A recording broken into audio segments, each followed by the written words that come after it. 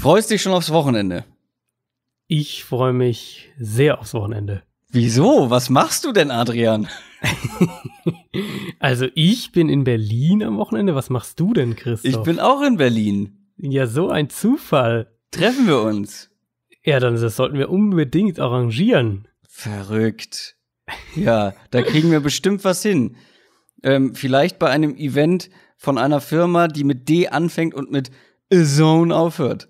Vielleicht, vielleicht. Also wir sind, äh, wir sind beide beim Kickoff-Event von The Zone in Berlin am äh, Sonntag. Wer, vielleicht ist ja sogar ein Hörer irgendwie da oder ist da im, irgendwie mit dabei oder was weiß ich, kann uns natürlich sehr gerne ansprechen. Ja. Und äh, dann verbringen wir mal ein schönes Wochenende in der Hauptstadt. Wir arbeiten halt quasi durch, aber. Wir arbeiten durch, aber es ist ja auch ein bisschen Spaß. Also wir gucken mit vielen Leuten zusammen Football Sonntagabend. Das stimmt, ja. Wir werden Sonntag tagsüber tatsächlich noch ein bisschen arbeiten. Aber am Montag habe ich mir freigenommen. Weise. Oder?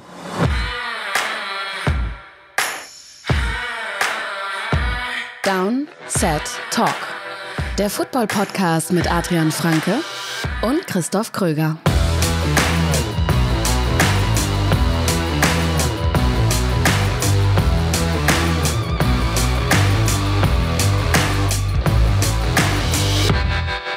Der offizielle NFL-Podcast von The Zone und Spox. Mein Name ist Christoph Kröger und mir aus Mannheim zugeschaltet ist wie immer Adrian Franke. Einen wunderschönen guten Tag. Es ist Woche 1.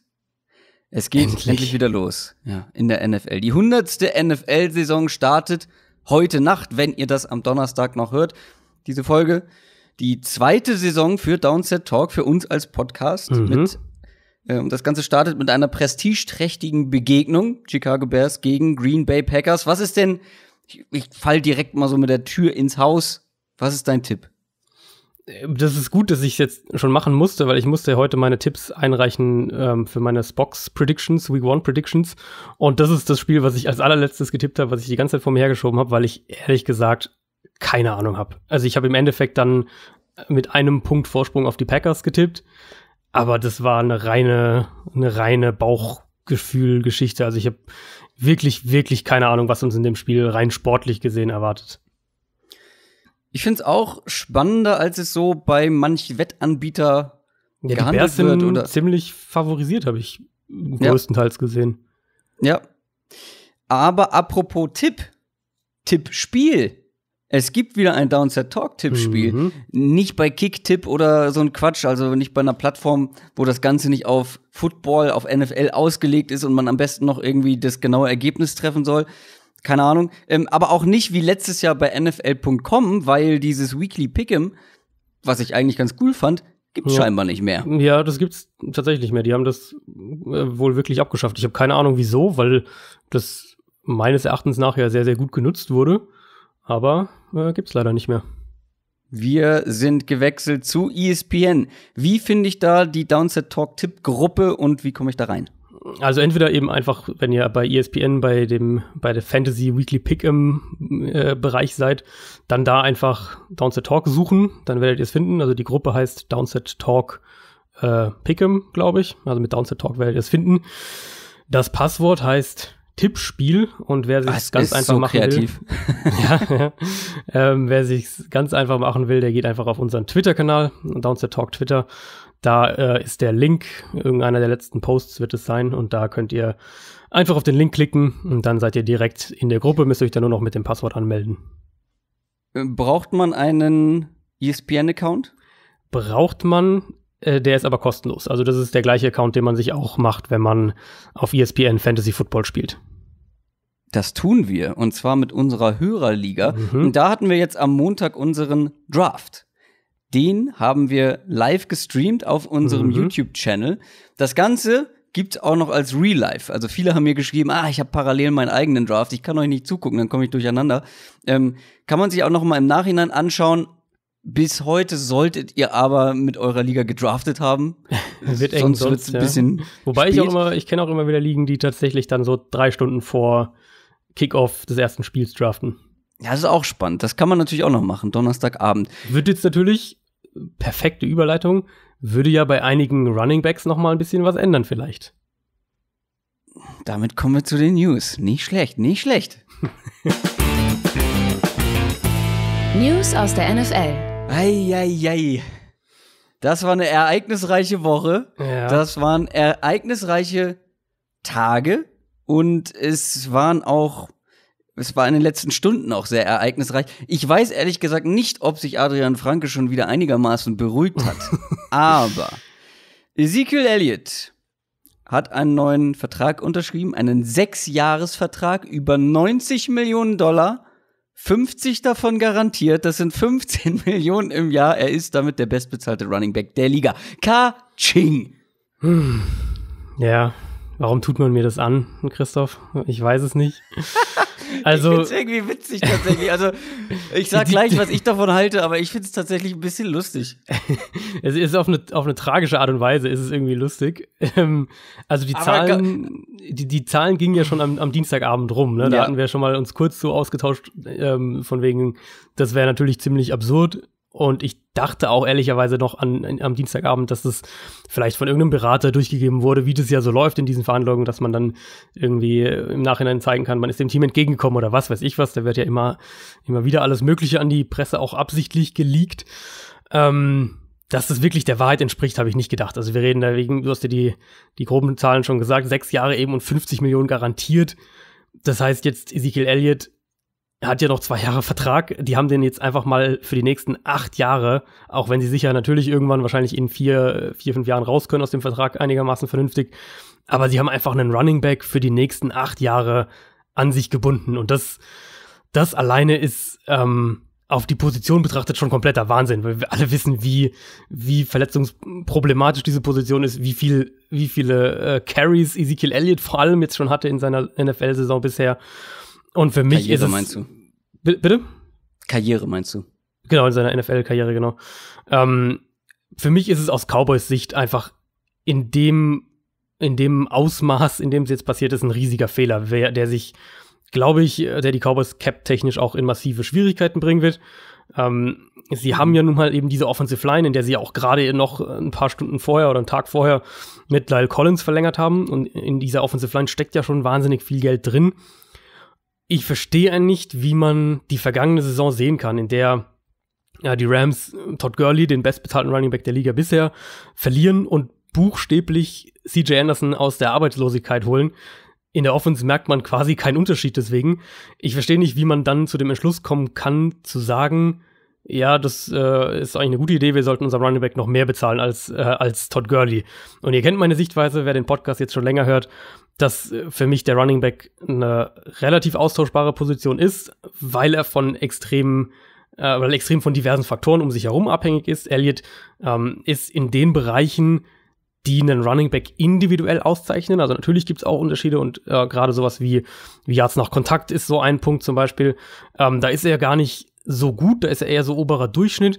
Er ist halt ein Volume-Back, der den Ball unfassbar oft bekommt und deswegen auch gute Total-Stats auflegt. Und es ist sicher auch eine Qualität, irgendwo mit so einer Volume immer noch einigermaßen konstante Zahlen auflegen zu können. Aber für mich bleibt es dabei. Und wir hatten die Frage ja in der Mailback-Folge auch. Ich hätte an, anstelle der Cowboys hier knallhart verhandelt. Ich hätte ihm jetzt noch mit, mit den eben noch zwei Jahren Restvertrag, hätte ich definitiv jetzt nicht zu diesen Konditionen mit ihm verlängert, auf keinen Fall. Und erstmal dann geschaut, ähm, wie die Offense so ohne Sieg aussieht, ihn ein bisschen unter Druck gesetzt. Aber eigentlich, im Endeffekt, wenn wir ehrlich sind, war es klar, dass Jerry Jones nicht ohne Ezekiel Elliott in die Saison gehen wird und dass er ihn am, Ende bezahlt. Ähm, ich ehrlicherweise kann es diesen Schritt jetzt so nicht nachvollziehen, wenn man die NFL in den letzten fünf Jahren betrachtet und vor allem eben die Erkenntnisse, die wir jetzt in den letzten ein bis zwei Jahren gewonnen haben. Ja, äh, Glückwunsch an Ezekiel Elliott auf jeden Fall an dieser Stelle. Das dass kann er man das sagen, ja.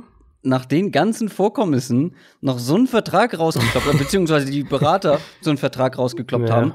Was uns, was uns ja auch zeigt, was uns ja auch zeigt, dass die Cowboys ähm, Scheiße gelabert haben. Ja, das zum einen und dass sie ja auch letztlich jetzt hier komplett eingeknickt sind, was Ja. natürlich zu die spannende Frage aufwirft, warum hat es so lange gedauert? Also wenn sie bereit sind, so einen Vertrag rauszuhauen, das hätte man wahrscheinlich auch schon vor drei Monaten machen können. Ähm, keine Ahnung, ob da im Endeffekt noch dann Jerry Jones jetzt ein Machtwort gesprochen hat oder wie das, wie das ablief. Aber ich kann mir nicht vorstellen, dass der, dass, dass äh, Ezekiel Elliott bei so einem Angebot äh, lange gezögert hätte, wenn er das vor zwei Monaten gekriegt hätte. Also ich weiß nicht, ob das überhaupt jemand denkt von unseren Hörern. Äh, ich will es aber trotzdem an dieser Stelle nochmal unterstreichen, auch wenn ich in der letzten Folge äh, ja auch schon was dazu gesagt habe. Es ist nicht so, dass ich das für eine gute Entscheidung halte. Das mhm. möchte ich hier nochmal äh, betonen. Ich glaube einfach nur, dass ich, also ich bin deutlich bereitwilliger, einem Running Back wie Ezekiel Elliott mehr Geld zu zahlen als du, deutlich mehr Geld zu zahlen als du.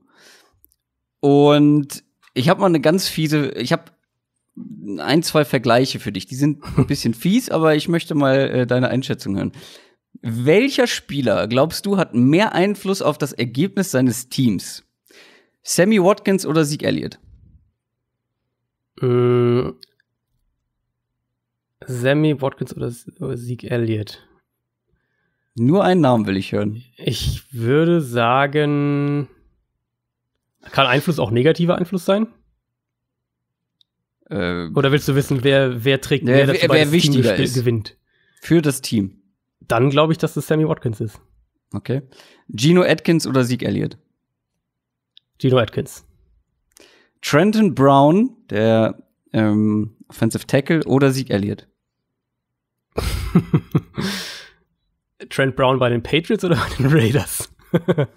Bei den Raiders, weil die zahlen ihm mehr Geld als Zeke Elliott. Ja, da, da passe ich. Also es ist wahrscheinlich ist es Trent Brown, aber, aber es ist vom, vom Value der Position her ist es Trent, Trent Brown, aber äh, vom Value da, der äh, Position. Äh, aber das dürfen wir ja jetzt nicht. Es geht ja wirklich um die, den individuellen Spieler. Also das waren alles Spieler, die ähnlich oder mehr verdienen als Ezekiel Elliott. Und ich finde es, ja, es ist ein bisschen zu viel. Ähm, Mo äh, ja, also was äh, das Durchschnittsjahresgehalt angeht. Finde ich auch ein bisschen viel. Allerdings hätte ich auch versucht, einen Sieg Elliott zu halten, weil ich einfach der Meinung bin, es macht eine Offense deutlich stärker, als wenn du das mit zum Beispiel einem Alfred Morris und einem Tony Pollard löst. Bin ich immer noch davon überzeugt. Und da, das ist ja, das ist ja quasi der Punkt, an dem wir dann auseinandergehen, genau. also wo wir andere Meinung sind. Ich, ich glaube halt, dass die Offense nicht nicht ähm, bedeutend schlechter ausgesehen hätte, wenn sie jetzt mit Morris und, und Tony Pollard in die Saison gegangen wären. Ähm, ich, wer das, wer da wirklich sich mal reinlesen will, ich habe ähm, auf Twitter einen, einen kleinen, einen kleinen äh, Thread angelegt, wo man im Prinzip so vier, fünf Artikel lesen kann. Es ist jetzt alles auf Englisch, ähm, nur das dazu. Aber da wird im Prinzip genau diese verschiedenen Aspekte eben erklärt, wieso hm. es eigentlich kein Argument dafür gibt, Ezekiel Elliott also so zu halten, schon mal sowieso nicht. Ähm, aber warum auch Ezekiel Elliott ein Running Back ist, der halt eben, wie gesagt, über eine wahnsinnige Volume kommt, von seiner individuellen, von seinem individuellen Impact auf das Spiel her aber trotzdem relativ austauschbar ist. Und die anderen Faktoren halt eben gerade die Offensive Line und, und, und die Umstände sozusagen in Dallas, die sind halt ideal für ihn. Also Umstände im Sinne von auch, was er eben einfach an, an, äh, an Carries bekommt, weil er letztes Jahr auch, ich glaube, über 40 Carries mehr als Barkley, der der Zweitplatzierte war. Ähm, insofern ist Ezekiel Elliott für mich halt wirklich ein Volume-Spieler, wo ich aber glaube, dass die individuelle Production, ähm, gerade wenn wir es eben auf eine pro Spiel, pro Snap, pro Run, pro Touch äh, Basis umrechnen, dass du die auch anders und viel, viel, viel, viel günstiger hättest haben können. Also ich hätte als GM nicht so viel gezahlt, vor allem in der Situation mhm. der Cowboys, einfach um versuchen zu können, in die breite Masse des Rosters zu investieren. Ja. Ähm, und du hast es schon angesprochen, und das ist für mich auch der wichtigste Punkt eigentlich, in dieser Situation so viel zu zahlen. Genau. Für einen Running Back, auch wenn es äh, Sieg Elliott ist, wo wir, glaube ich, auch noch eine kleine Differenz haben, wie wir ihn individuell bewerten, weil ich finde ihn wirklich auch halt individuell gehört er für mich in die oberste Riege an Running Backs. Ähm, und ich finde es nicht so mega, mega absurd, wie du äh, einem wirklichen Workhouse, Workhorse Three-Down-Back 15 Millionen im Jahr zu zahlen. Wie gesagt, ich hätte es nicht gemacht. Was ich aber viel, viel kritischer sehe, ähm, und wahrscheinlich ähnlich kritisch wie du, ist die Länge und die garantierten Zahlungen im Vertrag mhm. Für einen Running Back, weil der er ist zwar derjenige, der ganz, ganz oft den Ball in die Hand bekommt. Und ich bin der Meinung, der mit dem Ball in der Hand kann immer noch individuell äh, sehr viel ausrichten. Ähm, trotzdem ist das die Position, die am härtesten ist. Du läufst ja. immer wieder gegen eine Wand. Die ist am verletzungsfördern. Äh, also die, ja, die ist verletzungsfördernd, die Position. Ja. Ja. So kann man sagen. Und so einer Position über einen so langen Zeitraum so viel Geld zu zahlen. Wie gesagt, acht Jahre. Das sehe ich ganz kritisch. Ja, ich würde mal vermuten, ich meine, wir kennen jetzt die Details natürlich noch nicht, das ist jetzt gerade vor ein paar Stunden erst passiert.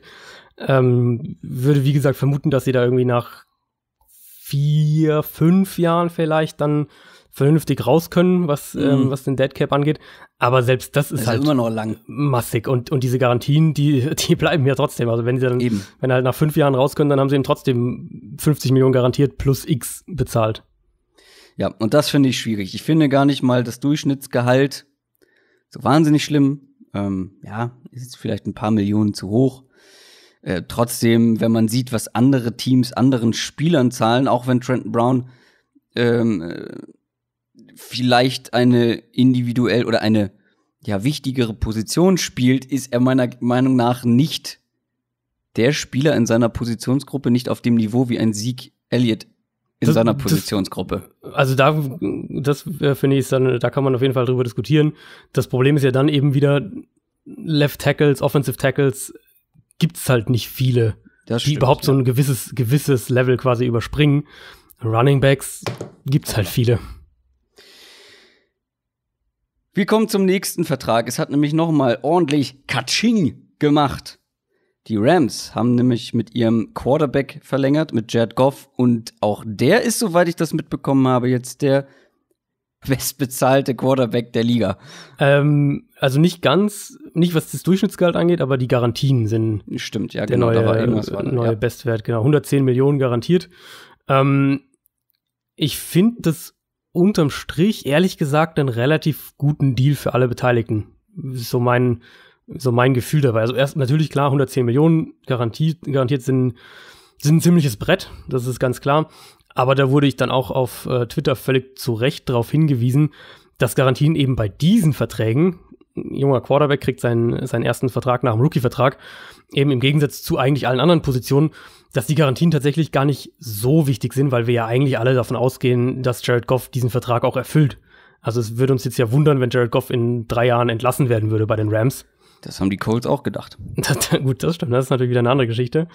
Ähm, vom Durchschnittsgehalt her ist jetzt der neue Part des Vertrags, also die Vertragsverlängerung, die ja erst ab 2021 greift. Also hat ja auch noch ähm, jetzt die nächsten beiden Jahre im, im Vertrag.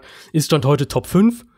Aber ähnlich wie eben bei Carson Wentz, wo ja die Situation ganz ähnlich ist, auch erst ab 2021 dann der neue Vertrag greift, wird sich das ja relativieren bis dahin. Also bis, bis in zwei Jahren werden ja wieder ganz andere Quarterback-Verträge rausgegeben sein. Und bis dahin hat Patrick Mahomes wahrscheinlich seinen Vertrag, der alles in Schatten stellen wird.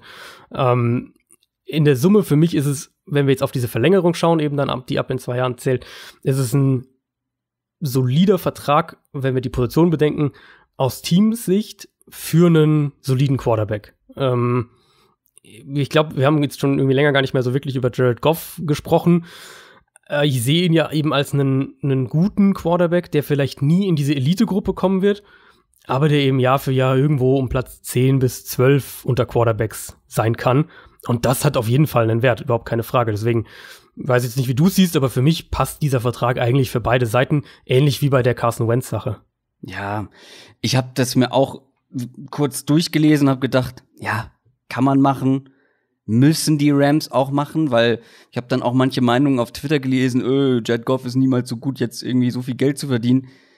Naja, du musst halt gucken, was ist die Alternative? Wie mhm. schnell, wie einfach und für wie viel Geld würdest du denn einen Quarterback auf dem Niveau von Jared Goff bekommen, der, der Punkt, wie ja. ich auch finde, nicht zur Elite gehört, aber er ist offensichtlich gut genug, eine Offense wie diese unter einem Coach wie diesem in den Super Bowl zu führen. Ja, ja. Und er hat jetzt nicht so wahnsinnig viele Spiele verloren. Ja, im Super Bowl das war vielleicht noch eine Nummer zu groß für ihn und das ganze Team und offensichtlich auch für den Coach. Ähm, aber warum, warum nicht mit diesem Quarterback nicht für diesen Preis verlängern? Ja, also für mich, wie gesagt, macht das für alle Beteiligten Sinn, was ja dann so die Kritik ist, die dann so mitschwingt, wenn man eben sagt, er ist dieses Geld nicht wert, man sollte ihm nicht so viel bezahlen, ähm, ist ja immer eben dieses, das war eigentlich viel mehr Sean McVay, der halt Jared Goff ins Ohr flüstert noch bis kurz vorm Snap, dann welch, auf was er achten soll und und äh, das ist halt die Offense, die Sean McVay entworfen hat und eigentlich ist das alles sein. Ja, Jared Goff hat sie nicht entworfen, das stimmt. Genau.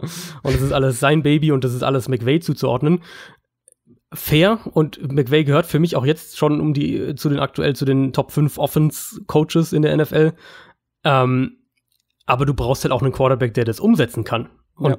da, das hat Jared Goff für mich letztes Jahr gezeigt, dass er das konnte. Und er, er hat jetzt eben nicht viele Spiele gehabt, wo er, wo ich wirklich gesagt habe, okay, da ist er jetzt wirklich, da war er so der entscheidende Faktor, der über das Scheme hinausgegangen ist. Ähm, ich erinnere mich an das Vikings-Spiel, das war, glaube ich, eins, was man in diese Kategorie äh, einordnen könnte da hat er jetzt nicht so viele von gehabt.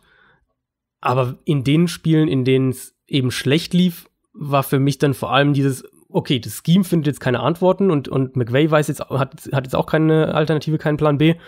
Ähm, und Goff ist halt dann nicht der Quarterback, der das Spiel dann an sich reißt und kreiert. Ja. Weil wenn er das wäre, dann würde er ja auch noch viel, viel teurer werden. Dann, weil dann reden wir halt ja eben von, von der Patrick Mahomes-Kategorie, was der dann wahrscheinlich ähm, irgendwann bekommen wird. Deswegen ist es für mich ja, Jared Goff ist kein Top 5 Quarterback und vielleicht wird das auch nie sein. Ähm, aber eben der 8, 10, 11 beste Quarterback der NFL zu sein und das konstant, auch wenn es an an einem Coach liegt, aber wenn du halt gut mit dem zusammen funktionierst, das hat einen absoluten Wert. Total. Dann gab es aber natürlich noch ein paar größere News sogar, die weniger mit Geld, sondern vor allem mit Spielern und mit Draftpicks zu tun hatten. Jadavian Clowney wurde getradet mhm. von den Texans zu den Seahawks. Jetzt erzähl du uns mal, was da noch so alles mit einhergegangen ist. Ja, ähm, also der Preis erstmal, die Texans erhalten einen Drittrunden-Pick und dazu die Linebacker bzw. Pass-Rusher Jacob Martin und Bakivius Mingo von den wow. Seahawks. Ähm, Mingo war in Seattle definitiv ein Cut-Kandidat, das hat man jetzt immer wieder gehört. Martin ist halt ein junger Rotations-Edge-Rusher. Ähm, mhm. Also erster Instinkt natürlich war, was um alles in der Welt macht Houston da. Und ganz klar, die Texans hatten eine furchtbare Trade-Position bei Clowney. Das wussten wir. Ähm, trotzdem ist das äh, aus Seahawks äh, Sicht ist das für mich ein Monster-Stil. Ja, selbst wenn sie sich jetzt mit ihm nicht auf einen neuen Vertrag einigen können, was ja sowieso generell erst nach der Saison geht, hatten wir ja bei Clowny auch mehrmals schon thematisiert, dann bringt er ihnen theoretisch einen Drittrunden Compensatory Pick ein, wenn sie ihn eben gehen lassen nach der Saison. Und Clowny schließt natürlich eine riesige Baustelle in Seattle auf eine sehr, sehr prominente Art und Weise. Wir hatten ja das auch ein, zwei Mal angesprochen, LJ Collier, Sigi Ansah. Ähm, das wäre echt ein wackeliges Edge-Duo gewesen.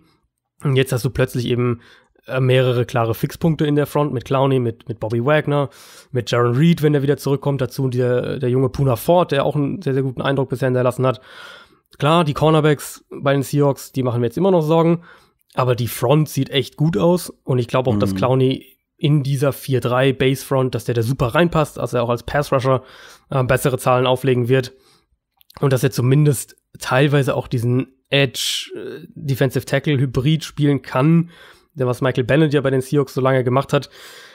Also für mich ein Move, wo ich sag, Houston selbst für die Position, selbst für die, selbst für die schlechte Verhandlungsposition, war das einfach unfassbar wenig. Also ähm, den hat sicher auch diese, diese Dolphins-Sache nochmal wehgetan, dass das Clowney ja offensichtlich nicht nach Miami wollte und dass er wohl auch nach Seattle wollte. Und das war äh, für die Verhandlung natürlich nochmal ein, ein ziemlich bitteres, äh, bitteres Beiwerk aus Texans Sicht. Trotzdem wirklich ein absolut brutaler Trade. Also so gerade eben diese mhm. beiden Spieler, die sie da zurückbekommen, die geben mir halt wirklich so gar nichts. Dass sie dann ja. nicht mal einen der, der Offensive Linemen bekommen haben, über die ja spekuliert wurde. Über Jermaine Fetty war ja da ein Thema. Justin Britt wurde auch spekuliert. Ähm, das, das zeigt schon ziemlich klar, wie Seattle da Houston am Verhandlungstisch eigentlich wirklich komplett ausgezogen hat. Ja, echt. Also Ist zwei das so? Linebackern, wo der eine höchstwahrscheinlich gecuttet werden Genau. Ja. wird. Oder wo, ja. Also, ich glaube, du hast alles gesagt. Ähm, lass uns lieber mit den Texans noch mal wieder weitermachen, weil die haben ja äh, noch mehr Trades eingefädelt. Ja, Und zwar haben sie Laramie Tunsil, den Offensive Tackle von den Dolphins, plus Wide Receiver Kenny Stills von den Dolphins zu den Texans getradet. Auch das ist ein spannender Trade gewesen. Sehr spannend und auch witzig so vom Timing her, weil die Clowny-Sache kam ja drei, vier Stunden davor und, und alle haben dann erstmal auf die, auf die Texans eingeschlagen. So von wegen, jetzt äh, haben sie Clowny diesen Trade schon gemacht und sind da immer noch ohne, ohne Offensive Lineman rausgegangen und plötzlich holen sie dann doch Larry Tunsil, der ja wohl auch Aber wofür? Genau. Wohl auch, der war ja wohl auch ein Thema bei diesen Clowny-Verhandlungen mit den Dolphins, die ja letztlich dann zu überhaupt nichts geführt haben. Ähm, der Trade war natürlich brutal teuer, viel zu teuer. Zwei Erstrunden-Picks, ein Zweitrunden-Pick und dann noch ähm, zwei Spieler, zwei äh, ja, Backup-Spieler, die noch äh, mit zu den Dolphins gehen, die klammer ich da mal ein bisschen aus. Äh, Also erstmal vielleicht, wenn wir so anfangen, wir müssen Houston natürlich zu einem gewissen Grad dafür loben, dass sie jetzt noch mal wirklich Top-Ressourcen in die Offensive Line gesteckt haben. Sie hatten ja jetzt Mhm. im, im, im Draft dieses Jahr wirklich rein investiert, auch wenn Mhm. keiner so richtig weiß, wann äh, Titus Howard, der Erstrunden-Pick und, und Max Sharping, der Zweitrunden-Pick, wirkliche Verstärkungen dann auch darstellen auf dem Feld. Aber das ist einfach massives Draftkapital für ein Team, das jetzt zuletzt schon weniger Top-Picks hatte, weil man ja auch für Deshaun Watson hochgetradet ist, womit ich Mhm. überhaupt kein Problem habe. Also das nur nicht das Ding, nur jemand denkt, äh, ich bin der Meinung, das hätten sie nicht machen sollen. Und das dann jetzt eben Watson und auch Larry Tunsil ja bezahlen muss. Und in puncto Kaderplanung, also ja, es ist ein Win-Now-Move, der vielleicht auch damit zusammenhängt, dass der Headcoach der GM ist im Moment in Houston. Aber in puncto Kaderplanung mittel- und langfristig ist das für mich ein Mhm. Brutales Risiko. Ja, wir sprechen noch über die kurzfristigen Wirkungen jetzt in einem späteren Segment. Davon Mhm. weißt du noch nichts, aber ähm, ich kündige das einfach mal so an. Da können wir noch über die Ja. ähm, ja, die Win-Now-Situation der Texans sprechen. Was bedeutet das auf der anderen Seite für die Dolphins? ja. Also, Ich dachte, ich dachte in der NFL tanken keine Teams. Das hat Mhm. mir dieser Adrian Franke im Podcast erzählt. Also Spieler tanken nicht. Teams, ähm, und das zeigen die Dolphins uns hier ganz, ganz, ganz, ganz überdeutlich. Äh, Das ist, also das ist so eindeutiges Tanking, wie man es, glaube ich, nur haben kann. So kurz vor der Saison im Prinzip ja deine besten, deine beiden besten Offense-Spieler auf jeden Fall wegzutraden. Tatsächlich ist das mal ein Trade, wo ich den, ähm, den Aussagen vom Head Coach im Anschluss glaube. Brian Flores hat ja so sinngemäß gesagt, dass das ein Angebot, dass das Angebot zu gut war, als dass sie es hätten ausschlagen können. Das stimmt ja auch. genau, und das stimmt Weil- ja auch. Weil Also, Larry Mitanzel gehört zwar zu, ja, zu den besten jungen Offensive Ja. Tackles der Liga, aber ja noch nicht zu den allerbesten. Und ja, Kenny Stills ist, wie du schon gesagt hast, Ja, einer der zwei besten ähm, Offensive Spieler und auch ein talentierter Wide Receiver, ja, aber auch nicht Elite-Niveau, auch Ja, wenn er natürlich jetzt bei den Dolphins in der Offense wirklich jetzt auch nicht die besten Umstände in den letzten Jahren hatte. Ja, Trotzdem, das, also Zwei Stills wird, wird in. Houston, wird er halt auch wahrscheinlich erstmal Receiver Nummer 4 sein, wenn da alle fit sind. Und ist ja mehr sowas wie die, die Absicherung für, für die nächste Will Fuller-Verletzung und halt nochmal so eine vertikale Option. Aber der wird jetzt ja auch nicht der Nummer 1 oder 2 Receiver in Houston sein, vermute ich mal. Wahrscheinlich nicht. Also, du hast natürlich mit Will Fuller und auch Kiki Cutie ist ja nicht ganz so, ähm, ja, also beide Stabil. verletzungsanfällig. Ja. ähm, ich glaube, das ist, wie gesagt, wir sprechen über die Texans und die, die kommende Saison noch. Ja, Das also, ist nicht der, das ist nicht das Problem an dem, an dem Move, Nee. sondern es ist Nee. das Dra Draftkapital, was du Genau. aufgeben musstest. Zwei First-Round-Picks. Überleg mal, was du da für Qualität bekommst. Vor allem, wenn jetzt alle erzählen, der kommende Draft ist vor allem auch in der, in der Offense so tief, was die Playmaker angeht. So, so tief. Und dann noch ein Zweitrunden-Pick, ne? Ist ja auch noch mit dabei. genau. Ey, was ist das für Qualität, die du abgibst für, wie gesagt, einen jungen, talentierten Offensive Tackle und Mhm. einen, sagen wir mal, guten Wide Receiver? und also, was man noch dazu sagen muss, hatten wir jetzt, glaube ich, nicht gesagt, ein Viertrunden-Pick kommt noch zurück nach Houston. Also zumindest den kriegen ja, sie noch dazu. Der Vollständigkeit halber. genau, das sollte man erwähnt haben. Und ich will es dann auch noch mal rein sportlich so ein bisschen aus, ausdehnen, die, die Texans-Sichtweise, weil rein sportlich muss man dann eben auch noch mal weiterdenken, sorgen jetzt diese Investitionen in die Offensive Line auch dafür, dass Houston seine Offense dementsprechend anpasst. Also hat es dann auch den Effekt, dass Deshaun Watson den Ball schneller loswerden kann. Vertraut er selbst auch mehr in die Protection. Also so zusammengefasst läuft die Offense auch wirklich runter. Mhm. Weil wenn Watson den Ball weiter eben ewig hält, und das war ja nun mal ein Thema letztes Jahr, was auch damit zusammenhing, dass sie ähm, häufiger mehr Spieler in Protection zurückgehalten haben und weniger Routes gelaufen sind, weil sie der Offensive Line eben nicht vertraut haben. Deswegen meine ich eben das Zusammenspiel da. Falls aber Watson den Ball weiter ewig hält, dann hilft dir Tanzel zwar ein wenig, aber wird dann im Ende auch wieder zu einem gewissen Grad ausgehebelt, weil, weil Watson dann trotzdem dauernd durch vielleicht die eigene Spielweise und eben eventuell auch die Play-Designs ähm, unter Druck steht. Und das, das muss dann wirklich auch diesen Effekt quasi auf die Offense haben.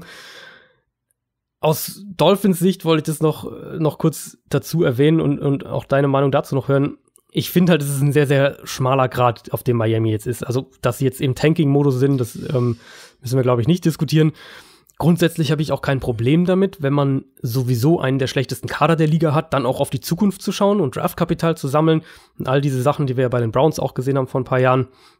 Ähm, deswegen war ich ja auch ein, ein, ein, Fan von dem, was Miami im, im Frühjahr gemacht hatte. Ich hatte ja echt auch als sogar bei uns im Podcast als einen der Gewinner der Free Agency ähm, auf eine eigene Art und Weise deklariert.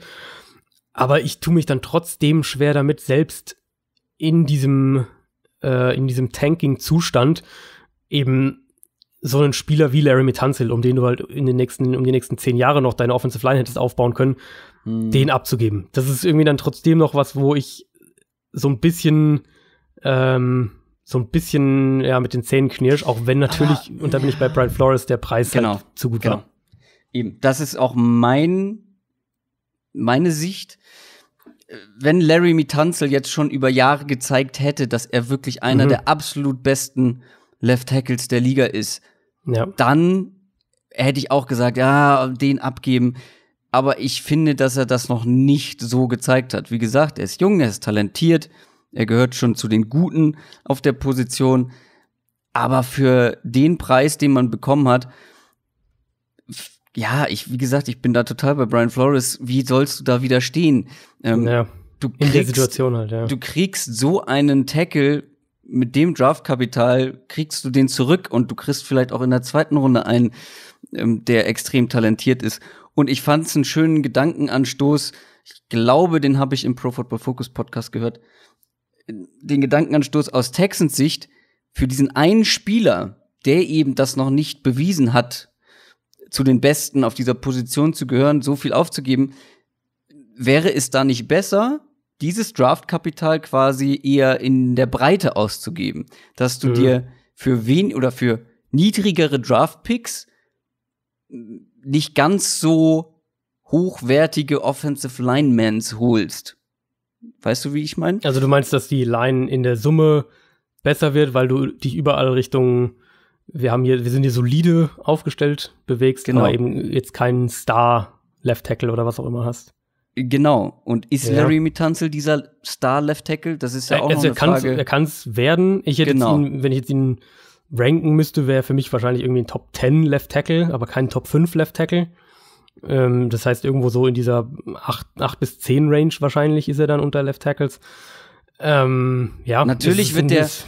Es, ist, es geht gegen alles eigentlich, was wir von, was wir über Kaderplanung auch wissen, nämlich genau. eben Draft Picks, den, der Wert von Draft Picks, wie du damit umgehen sollst. Der sinnvolle Move wäre dann gewissermaßen gewesen, ähm, wenn jetzt nicht irgendwie was passiert, dass ein Spieler total zu dir runterfällt oder so. Aber der sinnvollere Move dann wäre gewesen, aus Texans Sicht in den beiden Drafts ähm, ein bisschen runter zu traden mit den Erstrunden-Picks, genau. dann vielleicht zusätzliche Zweitrunden-Picks einzusammeln und halt keine Ahnung, aus diesen zwei Erstrunden-Picks vier Zweitrunden-Picks zu machen oder was auch immer. Das ist jetzt ein bisschen genau. einfach mal hergesponnen. Und daraus dann eben von denen halt irgendwie drei Offensive Linemen zu holen und zu hoffen, dass halt zwei von denen solide sind. So. Eben so ein Gedankenspiel. Das finde ich mhm. ganz spannend, weil ja, wir reden immer darüber, wie wichtig die Offensive Line ist, vor allem für die Texans, aber wie groß ist jetzt der Unterschied, wenn du einen deutlich besseren Spieler auf Left Tackle aufstellst, wie viel besser wird die gesamte Line dadurch? Das ist eben der Punkt. Das, dafür muss dann das, was ich gemeint hatte, dafür muss wirklich auch das System angepasst werden, mhm. Watsons ähm, Spielweise angepasst werden. Wenn das die Effekte daraus sind, dass man jetzt auf Left Tackle sagt, okay, da sind wir jetzt äh, safe, da müssen wir uns jetzt keine Sorgen machen, dann kann dieser Effekt auch durchaus groß sein. Wir haben das ähm, in manchen Teilen, nicht was die Anpassung der Spielweise angeht, das ist ein schlechtes Beispiel, aber was die, die Qualität der Line angeht, haben wir das bei den Seahawks gesehen, als sie Dwayne Brown geholt haben, aus, aus Houston ja. Ähm, aber grundsätzlich ist es schwer jetzt zu sagen, die Texans Offense wird jetzt äh, x Schritte nach vorne machen, weil jetzt haben sie Larry Tunsil. Sie wird besser sein mit Larry Tunsil statt mit, mit Matt Khalil oder, oder Julian Davenport oder irgendwem von denen auf, ähm, auf Left Tackle, aber wie groß da jetzt, dass das jetzt, dass man jetzt sagt, das mhm. ist jetzt ein riesen Quantensprung nach vorne, ich glaube, das, das kann man fairerweise nicht sagen. Die Texans und die Dolphins waren aber darüber hinaus noch aktiv. Die Texans haben sich zum Beispiel Running Back Carlos Hyde geholt von den Kansas City Chiefs. Ja, ich hätte da auch wieder irgendwie weiß nicht, bin ich bei den Texans auch wieder kritisch. Ich hätte da jetzt eben eher mal versucht, LeSean McCoy zu holen, äh, eher versucht, irgendwie einen Free Agent Running Back zu holen, als eben jetzt nochmal einen Trade in einen Running Back zu investieren. Die Texans haben ja schon Duke Johnson für was mutmaßlich ein Drittrunden-Pick wird geholt. Im Gegenzug haben sie gerade Martinez Rankin nach Kansas City gegeben und der stand wohl so ein bisschen auf der, auf der Kaderkippe. Trotzdem hätte ich ihn dann lieber so, so einen mhm. Spieler, der noch jung, relativ jung ist, der auch, ähm, der auch durchaus mit einem gewissen Talent eigentlich aus dem College kam, hätte ich so einen eher für die Offensive Line Tiefe dann behalten und eben, wie gesagt, einen der Running Backs vom Waiver Wire oder eben einen, einen entlassenen Veteran geholt. Ja, LeSean McCoy, das wäre natürlich schön gewesen, aber soweit ich das mitbekommen habe, wollte er unbedingt was auch ja Sinn macht zurück. Ähm, also was heißt zurück? Aber er wollte zu den Chiefs mhm. zurück zu seinem Ex-Coach, äh, unter dem er sehr gut gespielt hat. Aber lass uns noch kurz die Dolphins abhaken. Die haben Linebacker Kiko Alonso nach New Orleans getradet. Genau, und auch das wieder so ein, eigentlich ein klassischer Tank-Move. Äh, mit Vince Beagle kommt zwar ein Linebacker zurück, aber soweit ich das gesehen habe, ist das äh, vertraglich vor allem der Dead Cap Hit nochmal ein bisschen hochgegangen für dieses Jahr. Also äh, räumen quasi ihre Bücher auf dann für die nächsten Jahre haben ja dann auch noch Nate Orchard entlassen, die Dolphins, der zumindest in der Preseason einen ganz guten Eindruck hinterlassen hatte und sowas wie einer der äh, Co-Starting Edge Rusher werden hätte werden können, hätte sein können. Also da sind halt auch einfach Moves, die uns klar zeigen, wo die Reise hingehen soll in Miami. Ja, aber Kiko Alonso ist mir jetzt im letzten Jahr vor allem meist negativ aufgefallen. Er hatte, hatte ein paar negative Szenen auf jeden Fall. Ähm, ich du wirst wahrscheinlich trotzdem jetzt schlechter erstmal mit dem, mit dem äh, Tausch. LeSean McCoy haben wir gerade schon angesprochen, ähm, dass er unbedingt zu den Chiefs wollte, wurde ja entlassen bei den Bills. Da muss ich mhm. ja auch mal Respekt zollen. Das ist das, was du vor Monaten schon mhm. angekündigt hast, dass du eher LeSean McCoy als zum Beispiel einen Frank Gore cutten würdest. Ich mhm. hätte es andersrum gemacht. Aber sie haben sich für LeSean McCoy entschieden. Und der ist dann ziemlich schnell bei den Chiefs gelandet. Ja. Ja, also realistisch glaube ich, dass das, was wir dann in Kansas City haben, Richtung Running Back Committee gehen wird, in dem aber LeSean McCoy im Laufe der Saison sowas wie die Starterrolle dann doch einnimmt. Und ich glaube auch, dass er in dieser Offense sehr, sehr produktiv nochmal werden kann. Also Andy Reid kennt ihn natürlich aus Philadelphia bestens. Sie zahlen ihm dieses Jahr auch mehr als Damian Williams. Sie haben ihm äh, mehr Geld garantiert als Damian Williams, was ja auch schon mal so ein Fingerzeig ist. Ähm, diese Offense ist sehr, sehr Running Back freundlich, weil sie Running Backs wenig gegen, ähm, gegen vollgestellte Boxes laufen lässt und sie im Passspiel vertikal einsetzt. Und dadurch können Running Backs eben gute Stats auch auflegen. Und ich glaube, das wird auch LeSean McCoy in der kommenden Saison tun. Schade ist es ein bisschen für Darwin Thompson, den ich mhm. echt gerne als Rookie, du ja auch als Rookie schon in einer größeren Rolle gesehen hätte. Ähm, das können wir uns jetzt wahrscheinlich abschminken. Aber LeSean McCoy war doch letztes Jahr so schlecht, Adrian. Warum glaubst du denn, dass er jetzt dieses Jahr so viel besser wird? Weil Running Backs von den Umständen abhängig sind. Und die Umstände in Kansas City werden großartig sein für ihn.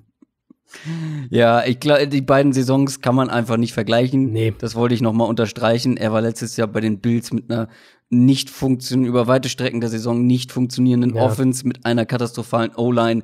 Äh, und jetzt kommt er in ganz, ganz andere Umstände. Also, ähm, da stimme ich natürlich zu. Also äh, Running Backs sind von den Umständen abhängig und das sind mal komplett gegensätzliche mhm. Umstände, mhm. ähm, die er da vorfinden wird. Auch wenn die jetzt bei den Bills diese Saison auch besser sein würden.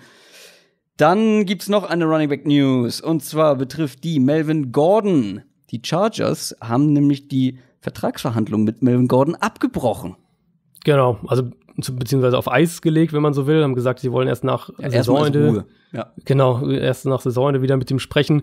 Plus wurde dann jetzt auch bekannt, dass äh, Melvin Gordons Berater sich Trade-Angebote einholen darf. Das deutet wirklich alles auf eine Trennung hin. Also mich würde es inzwischen wirklich ernsthaft wundern, wenn Melvin Gordon nochmal für die Chargers spielen würde. Äh, wir hatten das ja im, im Fantasy Live, äh, Fantasy Live Draft, äh, hatten wir das ja, glaube ich, auch mal so ein bisschen thematisiert, als er dann endlich irgendwann gedraftet wurde, ist da ja auch weit runtergefallen.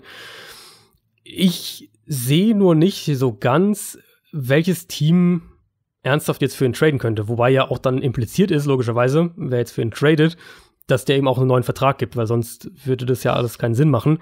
Also es ich weiß nicht, ob du da irgendwen im Auge hast, aber ich ich kann mir kaum ein Team vorstellen, wo ich jetzt sage, das wäre so das Team, wo ich glaube, das macht Sinn aus einer sportlichen Perspektive und das Team ist auch ein Team, das jetzt solche Ressourcen in den Running Back steckt. Beim zweiten Punkt bin ich mir nicht so sicher. Es gibt aber ein Team, wo ich mit der jetzigen Situation der individuellen Qualität im Backfield unzufrieden wäre. Ich glaube, ich weiß, wen du meinst. Das sind die Buccaneers. Ja. Ähm, ich bin wie alle wissen, kein großer Ronald Jones-Fan. Mhm. Ich bin kein großer Peyton Barber-Fan. Und ich glaube, dass diese Offense unter Bruce Arians auch Running Back freundlicher wird, als sie unter Dick Cutter war. Und man hier auch mehr individuelle Qualität gebrauchen könnte. Zumindest ist das das Team, wo ich eben ja, mir ein bisschen Sorgen um die Qualität an der Stelle mache. Und deswegen könnte ich sie, könnte ich es mir aus sportlicher Sicht sehr gut vorstellen. Auf der anderen Seite weiß ich auch nicht, ob sie Interesse hätten an einem wie Melvin Gordon, der nun mal viel Geld verlangt, ob sie ja. bereit sind, für diese Position viel zu zahlen, ob sie ähm, für ihn traden würden. Das wage ich so ein bisschen zu, zu bezweifeln, aber aus sportlicher Sicht wäre das das Team, wo ich ihn mir sehr gut vorstellen könnte. Also ich erinnere mich noch, dass Bruce Arians irgendwann im, im Sommer jetzt, äh, während, äh, ich weiß, ich glaube, vor dem Trainingcamp war das noch, wurde eben auch auf Runningbacks und, und neue Verträge und ähm, wie er eben diese Position aus der Sicht sieht, angesprochen. Und da hat er eigentlich relativ, ich weiß den Wortlaut nicht mehr, aber relativ klar gesagt eben, dass, ähm, dass er kein, dass er nicht, ja. nicht viel Geld in die Position ja, ja. stecken will. Deswegen vom, vom sportlichen Aspekt her hast du recht. Also das wäre so das, das logische Team irgendwo aber ich kann es mir nicht vorstellen, dass die das machen würden. Da sind wir ja dann einer Meinung und wir haben noch mehr News. Das war es noch nicht. So ein ja, bisschen Kleinkram haben wir noch. Ja. Ähm, die Indianapolis Colts haben eine Woche nachdem Andrew Luck sein Karriereende bekannt gegeben hat, mit dem Backup, mit Jacoby Brissett verlängert.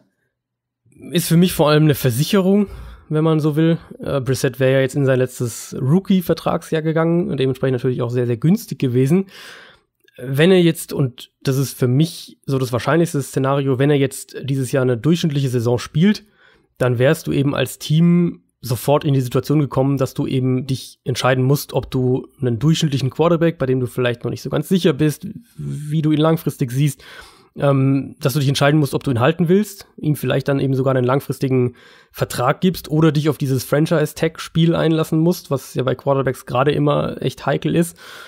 Jetzt haben sie eben vor allem Zeit damit aus Teamsicht äh, sich mhm. gekauft, weil Brissett jetzt dann auch 2020 erstmal unter Vertrag steht.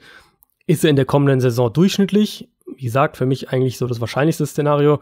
Dann hast du keinen Druck und, und das Geld ist dann ja auch in Ordnung für 2020. Also das ist ja dann ein durchschnittliches Quarterback-Gehalt für einen durchschnittlichen Quarterback, wenn man so will.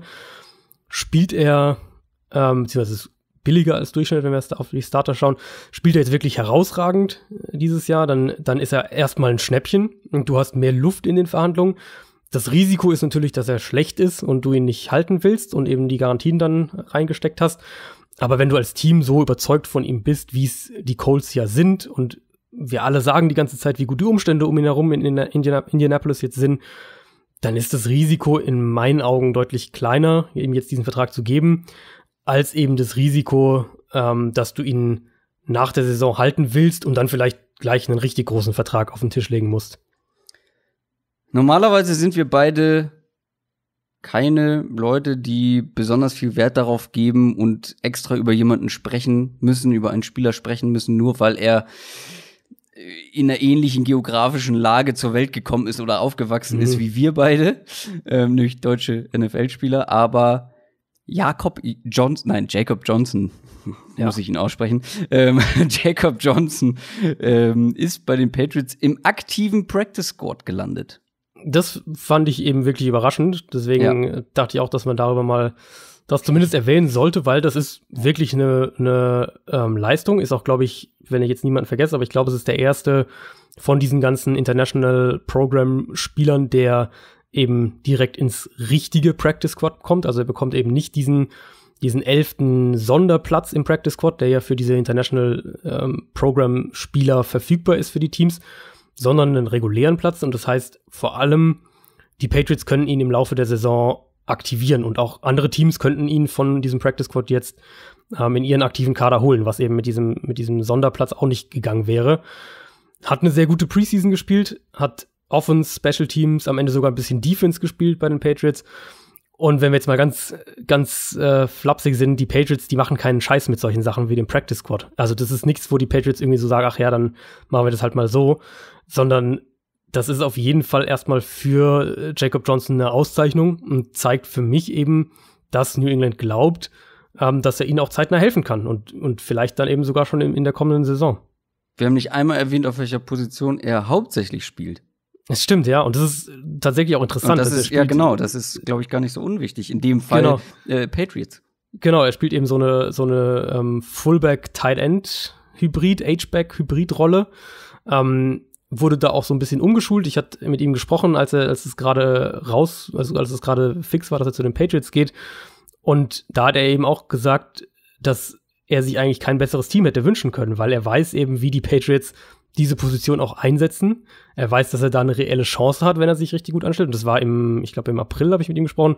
Und da war er echt schon sehr, sehr ja, optimistisch, vielleicht im Nachhinein kann man sagen realistisch, dass er halt da wirklich eine Chance hat, weil er eine Position spielt, die die Patriots anders wertschätzen als andere Spieler und weil er Special Teams spielen kann. Und, und äh, die Saisonvorbereitung zeigt jetzt ganz offensichtlich, dass die Patriots da in ihm auch was sehen.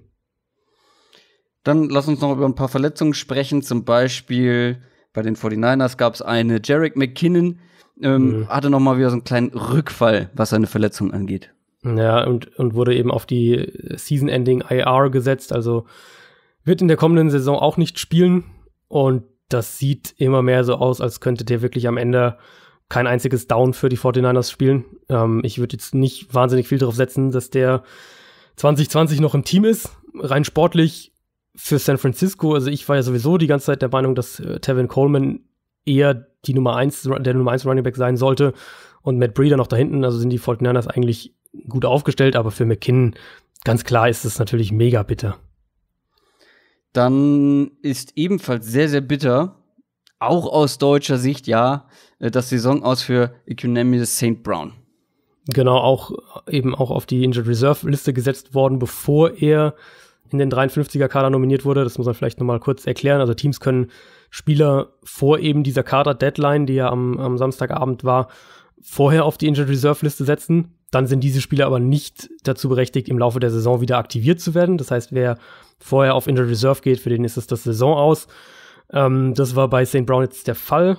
Ist echt schade, weil ich glaube, der hätte eine wirklich eine gute Chance auch auf, auf viele Snaps gehabt.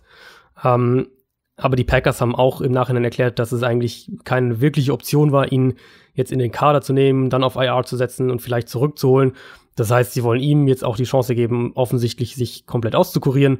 Und für ihn geht es dann jetzt einfach darum, sich dann schon auf die nächste Saison wieder vorzubereiten. Und auch bei den Patriots gab's oder gibt es Verletzungen zu vermelden. Wir haben schon über Center David Andrews gesprochen. Der ja. wird die komplette Saison tatsächlich ausfallen.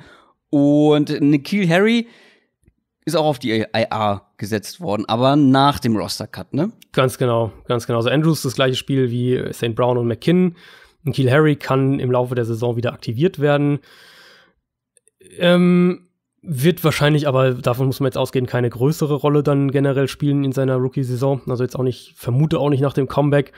Demarius Thomas hatten die Patriots ja erst entlassen und dann zurückgeholt, was man auch so ein bisschen erwartet hatte. Der übernimmt jetzt die Rolle von Keel Harry erstmal auf dem Feld. Ähm, Patriots vielleicht auch noch erwähnenswert, sie haben ja auch einen neuen Backup-Quarterback. Sie haben sich von Brian mhm. Hoyer getrennt, wo man eigentlich auch davon oder zumindest spekulierte, dass sie ihn zurückholen. Der hat aber dann einen echt richtig guten Deal bei den Colts bekommen. Ähm, und jetzt ist Jared Stidham der äh, Backup-Quarterback. Ja. Der hatte eine gute Preseason. Ja. Aber das ist schon auch mutig. Das ist mutig, finde ich auch. Allerdings, als ich mir das College-Tape von ihm angeguckt habe, ich glaube, ich fand ihn ein bisschen oder habe ihn positiver eingeschätzt mhm. als du. Das erste oder eine der ersten Sachen, die ich bei ihm gedacht habe, der würde perfekt zu den Patriots passen, weil er hat, er ist wirklich gut in einem schnellen Kurzpassspiel. Kurz- mhm. und mittellangen Passspiel. Und ja, vor allem, wenn ja. er den Ball schnell los wird.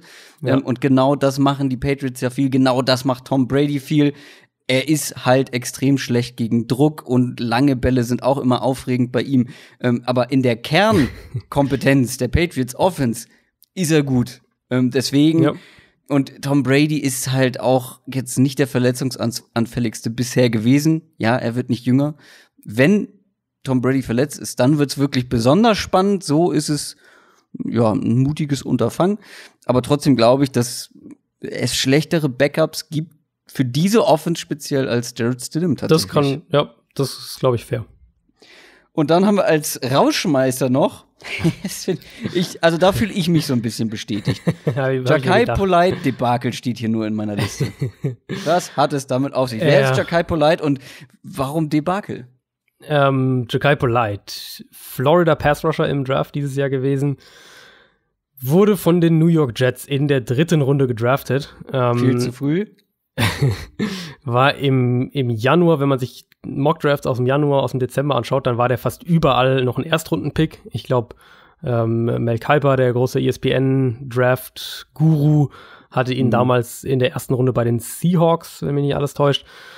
Jedenfalls wurde Jakai Polite vier Monate, nachdem er eben ein Drittrundenpick von Drittrundenpick war, von den Jets entlassen. Und das ist erstmal ein ziemlicher Hammer. Also Teams ja, entlassen absolut. eigentlich keine Drittrunden-Picks als, äh, als, als Rookies quasi vorher, bevor die Saison überhaupt anfängt. Die Berichte, ähm, die man jetzt dann so gehört hat aus New York, die gehen eben noch krasser in diese Richtung, was man schon auch in der Draft-Vorbereitung mitgekriegt hat. Also der hatte ja eine absolut furchtbare Combine, wo er sich in den, in den Presseinterviews dann über die Teams aufgeregt hat, was für Fragen die ihm gestellt hatten. Ähm, der war bei seinem Pro Day offensichtlich nicht fit. Also wirklich offensichtlich im Sinne von, man hat gesehen, dass da ein Bäuchlein ist, wo kein Bäuchlein sein sollte. Und die Berichte gehen jetzt eben auch so in diese Richtung, dass er arrogant war, dass er sich nichts hat sagen lassen, dass er also wirklich einfach dieses, was man als uncoachbar bezeichnen würde. Wie gesagt, mit Vorsicht zu genießen sind alles, sind alles Medienberichte. Zusammenfassung eben so, dass der, dass der Kopf einfach nicht da war, wo ein Kopf von einem professionellen Sportler sein muss dass er dann, ohne dass ein Team ihn geclaimed hätte, durchs Waiver Wire gegangen ist, ist dann auch sehr, sehr vielsagend. Und jetzt ist er auf dem äh, Practice Squad tatsächlich von den Seahawks gelandet. Ähm, also brutaler Absturz, wirklich brutaler Absturz. Ja, der scheint auch nicht die hellste Kerze auf der Torte zu sein. Wirkt nicht so, nein. Mm, und dazu kommt ja noch das, was ich so ein bisschen angemahnt hatte vor dem Draft. Ich finde ihn halt auch aus sportlicher Sicht. Äh, ja, du warst da. Ja, ich war. Ich, ja. ich habe extra noch mal nachgeguckt. Ähm, ich sag's gerne noch mal. Das soll ein Edge Rusher sein, ist meine erste Notiz, ähm, weil ich sehe den einfach nicht in der NFL als Edge Rusher. Er ist zu klein, zu schmal, äh, zu schwach. Ja, der hat Speed und Burst ohne Ende, also Explosivität, aber ich habe da halt schon keinen NFL Edge Rusher gesehen. Vielleicht einer, der sich dahingehend entwickeln kann, aber wenn dann eben noch diese anderen charakterlichen Geschichten mit dazu kommt, ja, mein Gott, also du musst dich schon echt dumm anstellen, wenn, wenn du als Drittrunden-Pick nach dem Training Camp oder nach der Preseason mhm. gecuttet wirst. Da musst du schon viel Team, falsch gemacht haben. Seit gefühlt Jahren keine Edge Rusher hatte. Total. So, das war das längste News-Segment ever. ich glaub's auch. Ich habe auch gerade auf die Uhr geschaut, dachte, es ist, äh, aber es ist auch viel passiert. Moly. Ja, fast eine Stunde haben wir über aktuelle Themen gesprochen. Das Schöne ist, wir haben jetzt auch etwas, ich sag mal, leichtere Kost ähm, für euch vorbereitet. Ich habe es noch gar nicht erwähnt, was wir heute machen. Heute ist unsere Prediction-Folge. Wir gucken heute in die Glaskugel und sagen euch die NFL-Saison voraus. NFL Preview. Ja, was machen wir dann heute Schönes? Wir gucken in jede Division und sagen jeder unseren Sieger. Ähm, da gehen wir einmal durch alle durch. Dann, wie letztes Jahr auch schon, werden wir die, die Leader der einzelnen Statistiken vorhersagen. Mhm. Also Rushing Leader, Receiving Leader, Passing Leader und so weiter. Offensive Rookie of the Year, Defensive Rookie of the Year, MVP, Super Bowl Tipp und zum Abschluss das Lustigste von allem, mhm. die Bowl Predictions. Ich bin dieses Jahr wirklich zufrieden mit meinen Bowl Predictions. Ich finde Bist du bolder als letztes Jahr? Ich weiß gar nicht mehr, was ich letztes Jahr hatte. Ja, letztes gesagt. Jahr, ich weiß es auch nicht mehr im Detail, aber ich weiß, dass ich gemeckert habe, weil ich sie nicht bold genug fand. Also sie sind, ich glaube, sie sind ziemlich bold und ich finde es immer schwierig, weil du ja natürlich jetzt auch nicht bei Bold Predictions irgendwas einfach so ja. rausknallen willst, die Dolphins gewinnen dieses Jahr den Super Bowl oder so, sondern das soll ja schon auch was sein, was, was halbwegs realistisch ist. Ich habe kurz, ich habe kurz über die Dolphins nachgedacht und wollte die Bold Prediction bringen. Die Dolphins ähm, holen nicht den First Overall Pick, ja, das wäre wieder, das fände ich dann wieder okay, weil da kann ja viel. Genau. Also Fitzpatrick gewinnt dir irgendwie zwei Spiele blöd und äh, am Ende stehst du irgendwie 3 und 13 und irgendein Team ist noch schlechter. Ja, pass auf. Und dann hättest du mich gefragt, ja, wer denn dann? Und da ist mir keine Antwort drauf eingefallen. ähm, ja. Deswegen habe ich das rausgelassen. Aber die Dolphins sind super für Madden dieses Jahr, für den Franchise-Mode. Also mit so vielen First-Round-Picks und was so alles hat, ja. da kann man schön Rebuild machen. Aber lass uns anfangen mit unseren Division-Predictions. Und ich habe das folgendermaßen vorbereitet. AFC und NFC nacheinander und wir machen Nord, West, Süd, Ost. Okay. Und fangen logischerweise mit der AFC North an. Die Cleveland Browns, die Baltimore Ravens, die Pittsburgh Steelers und die die Bengals. sind da auch noch mit in der Verlosung. Du darfst als erstes. Wen hast du denn als Division-Sieger? Ich darf als erstes. Ich habe die Pittsburgh Steelers genommen. Ähm, ich, hab, ich bin da so vorgegangen, dass ich die Teams versucht habe, so in, in grob in Tiers, also in Kategorien einzuteilen und zu schauen, wie deutlich sehe ich die Abstände zwischen den Teams. Und für mich waren die Steelers und Browns grob ein Tier, also so das, das Spitzentier im Prinzip in der Gruppe, in der, in der Division. Mit den Steelers, die ich einfach noch ein kleines Stück vorher sehe, weil ich bei den Browns halt noch mehr noch mehr Fragezeichen habe, was einfach diesen, diesen jungen Kader, First-Time-Head-Coach und so weiter angeht. Mhm. Ich glaube, die Steelers werden richtig gut sein dieses Jahr. Ähm, Im Sinne von, die werden elf Spiele gewinnen und in den Playoffs auch gefährlich sein. Ich glaube nicht, dass sie, dass sie ein Titelanwärter sind dieses Jahr. Also ganz in diesem Kreis sehe ich sie nicht. Aber ich sehe sie als ein Team, das im Moment ein bisschen unterm, ein bisschen zu sehr unterm Radar fliegt, dafür, dass sie immer noch eine richtig, richtig gute Offensive Line haben, einen sehr guten Quarterback, gut, gute Receiver, glaube ich, dass sie, dass sie immer noch, selbst ohne Antonio Brown, was natürlich ein, ein Downgrade ist, aber dass sie immer noch gute Waffen haben im Passspiel und dass die Defense einfach echt gut sein sollte. Und deswegen habe ich die Steelers knapp vor die Browns gesetzt und dann ein kleines Stückchen dahinter die Ravens. Ich stimme dir absolut zu. Die Pittsburgh Steelers werden eine gute Saison spielen, werden am Ende aber einen Sieg weniger haben als die Cleveland Browns. das äh, kannst du mir erzählen, was du willst. Die Ravens, finde ich, können überraschen irgendwie. Irgendwie ja. traue ich dem noch nicht so richtig über den ja. Weg, dass die auf jeden Fall Dritter werden. Ich glaube, da ist nach oben Luft. Ähm, aber bei den Bengals, ähm, denen traue ich in der aktuellen Verfassung sowohl offensiv als auch defensiv nicht so wahnsinnig viel zu, dass sie diesen drei Teams gefährlich werden können. Mhm. Natürlich, wenn sie am Ende Dritter werden, weil bei einem der Teams sich jemand verletzt oder irgendwas überhaupt nicht zusammenläuft. Klar, das, das, kann immer passieren. Ähm, vielleicht mit ganz viel Glück auch zwei. Aber dass sie die gewinnen, nein, das kann ich mir nicht vorstellen, äh, weil eben auch die Cleveland Browns die AFC North gewinnen. AFC West, da würde ich mal anfangen und Gerne. ich wage einfach mal was. Ich sag noch mal eben, äh, wer da in Frage kommt, für alle, die es nicht direkt auf dem Schirm haben. AFC West, Oakland Raiders, Denver Broncos, Los Angeles Chargers und Kansas City Chiefs. Und der einfache Tipp wären natürlich die Chiefs, ich sage aber die Chargers. Ja, uh. die O-Line, ja, die Verletzung von Derwin James, das hilft beides nicht besonders, aber du hast trotzdem immer noch eine super starke Offense, äh, Defense vor allem. Ihr Offense gefällt mir aber auch. Du hast mhm. Hunter Henry zurück, Mike Williams hat sich toll entwickelt. Ähm, ja, Melvin Gordon fehlt. Ähm, aber ich finde, mit Austin Eckler und Justin Jackson wird das im Tandem tatsächlich ganz gut aufgefangen. Ähm, wie gesagt, die Chiefs sind der logische Pick. Ich bin mir auch ziemlich sicher, dass du die Chiefs hast. Ähm, ich wag einfach an der Stelle mal was, sagt, die Defense kostet, die Defense der Chiefs kostet denen den einen entscheidenden Sieg, ähm, der dann über den Division-Sieg entscheidet. Ich glaube, am Ende hatten sie letztes Jahr auch gleich viele Siege, oder? War dem nicht so? Ich glaube auch, ja. Ähm, Oder die Chiefs einen mehr, irgendwie so, aber es, es war eng, eng und es wird dieses Jahr auch wieder eng, aber diesmal mit dem besseren Ende für die Chargers. Broncos für mich eher, vor allem auch wie ihr Quarterback, eher Richtung Durchschnitt unterwegs. Können überraschen, sowohl positiv als auch negativ. Ich glaube aber nicht, dass damit der Division-Sieg gemeint ist. Raiders offensiv stärker als letztes Jahr, defensiv eine komplette Wildcard. Ähm, werden, also wenn nicht die Chiefs und die Chargers Platz 1 oder 2 sind und die Raiders und Broncos Platz 3 und 4, dann wäre ich sehr überrascht. Das stimmt, ja. Ähm, für mich aber trotzdem ist die Sache noch relativ klar. Also ich habe es ja gerade gesagt, ich hatte die Steelers und Browns grob in einem Tier. Die Chiefs habe ich nochmal einen guten Schritt vor den Chargers im Endeffekt tatsächlich. Ich glaube, dass die ähm, ja, die Chiefs werden defensiv, vor allem was die, was die Coverage angeht, ähm, Cornerback, werden die immer wieder mal Probleme bekommen. Aber diese Offense sollte eigentlich so gut sein. Mhm. Und ich mache mir bei den Chargers tatsächlich eben in der Offensive Line jetzt doch noch mal mehr ja? Gedanken, dadurch, dass, dass Russell Okung eben jetzt auch mindestens sechs Wochen fehlen wird. Da sehe ich schon so die Gefahr, dass der, ähm, dass der Pressure auf, auf Philip Rivers so konstant sein wird, dass die Offense drunter leidet. Und deswegen glaube ich, dass die Chargers eher ein bisschen einen Schritt zurück machen, während ich bei den Chiefs glaube, dass sie mindestens das Niveau halten werden aus der letzten Saison. Ich bin gespannt. Broncos aber übrigens, Broncos glaube ich, dass die, dass die ein Kandidat sind, um nicht, also nicht die Division zu gewinnen, aber dass die ein Kandidat sind, um vielleicht mehr zu überraschen, als man das im Moment noch so auf dem Zettel hat. Ja, da gehe ich mit. AFC South. Du als erstes?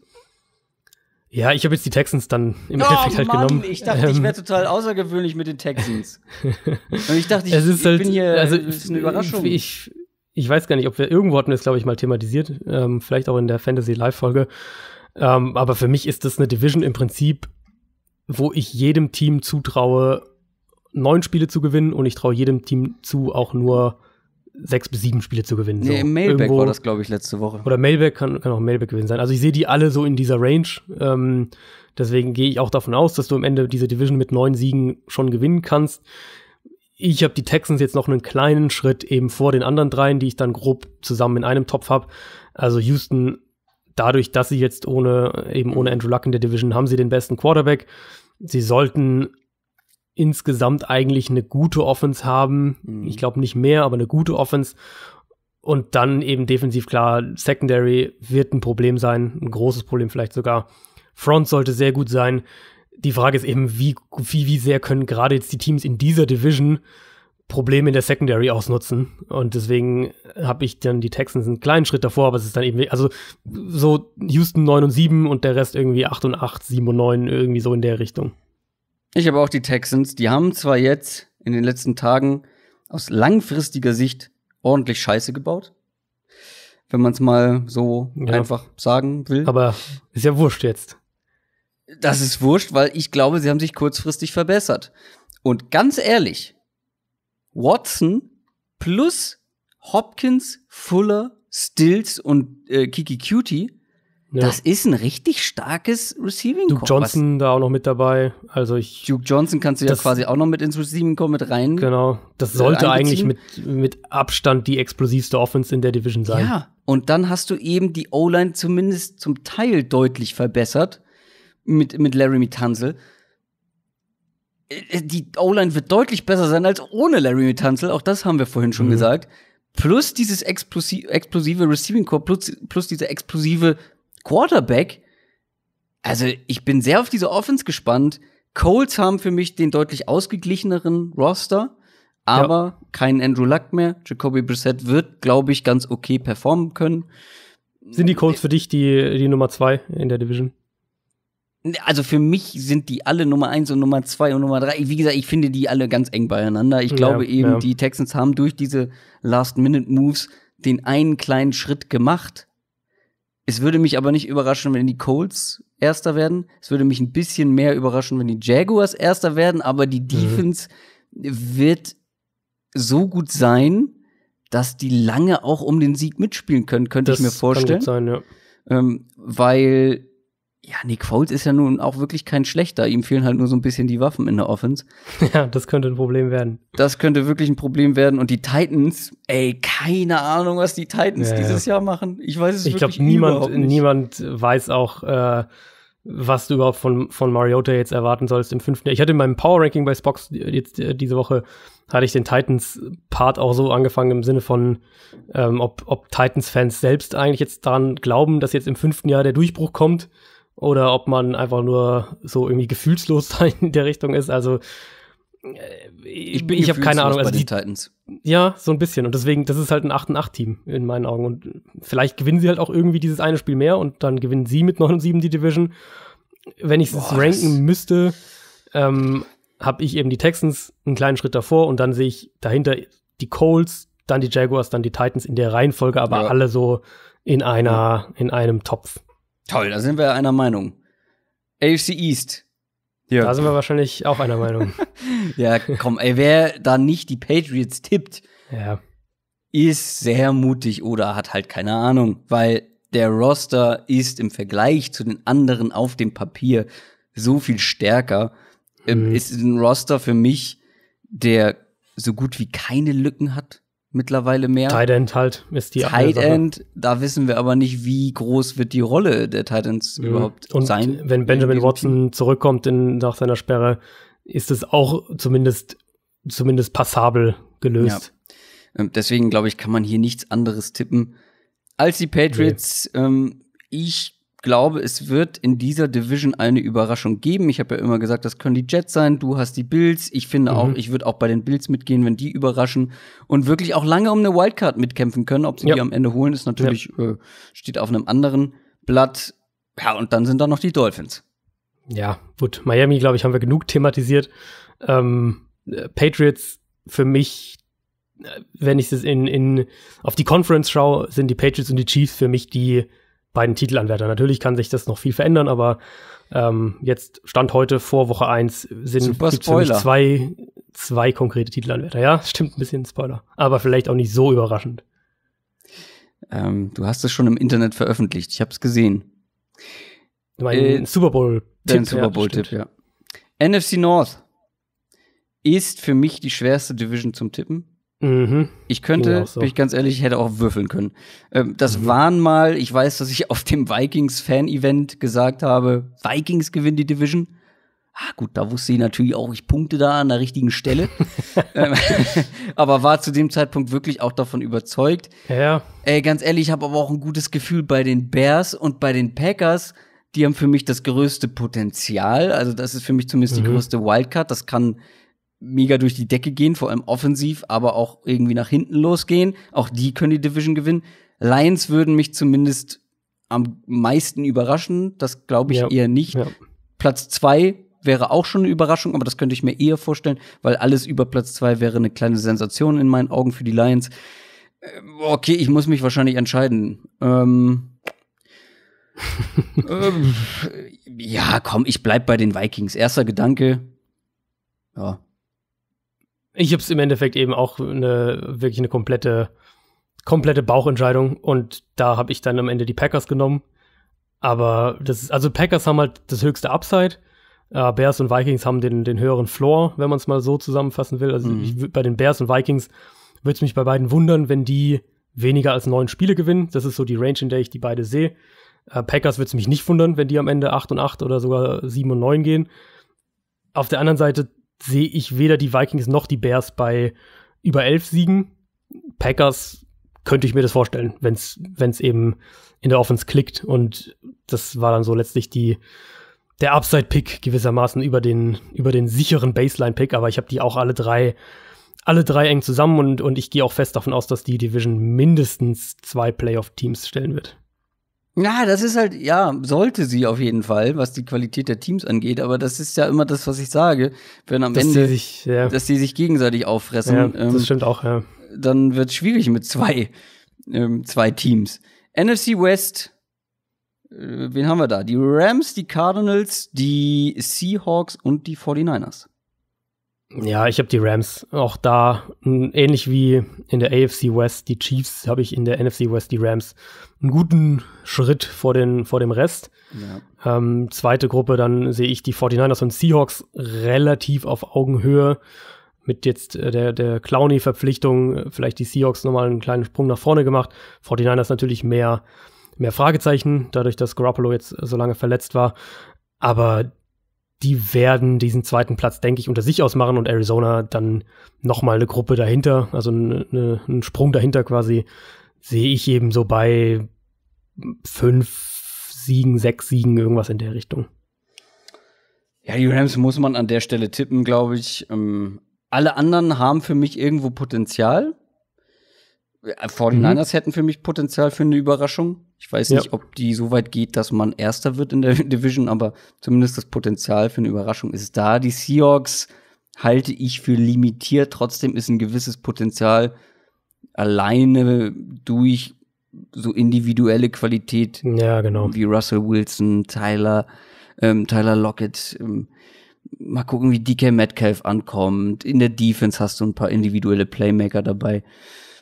Ähm, da ist Platz zwei auf jeden Fall möglich und die Cardinals sind für mich eine komplette Wildcard. Stell dir vor, die Offense geht komplett durch die Decke, dann haben auch die eine Chance, zweiten, den zweiten Platz zu holen. Ich glaube, die Defense wird halt die, ersten, ja. die erste Saisonhälfte zumindest ein, ein, zu großes Problem sein, wenn, Kommen wenn wir noch Nummer. 1 und Nummer 2 Corner fehlen. Kommen wir noch zu. Oh. NFC South. Auch knüppelhart zu tippen. Ich habe mhm. wirklich, Oh, ich habe ja angekündigt, es sei meine Lieblingsfolge, ne? Und dann habe ich hier gestern Abend gesessen nach meinem Fantasy Draft.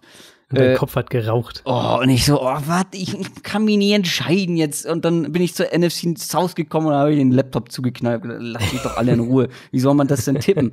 ähm, ich muss natürlich mit den Saints gehen. Die Falcons könnten es werden die Panthers mit ein bisschen Glück und vor allem mit Verletzungsglück und wenn die Offense, wenn da eine Offense ein paar Leute einen Schritt noch nach vorne machen, wenn das so gut läuft wie zum Beginn der letzten Saison, mhm. ähm, da hat das ja mit North Turner wirklich wunderbar funktioniert. Äh, und wenn Cam Newton fit bleibt und in der Defense vielleicht der ein oder andere über sich hinaus wächst. Und bei den Bucks, ey, ja, nee, ich kann mir nicht vorstellen, dass sie die Division gewinnen. Ich glaube nicht, dass alles auf Anhieb so glatt läuft mit äh, Bruce Arians wie das der ein oder andere hier im Podcast vielleicht hoffen mag.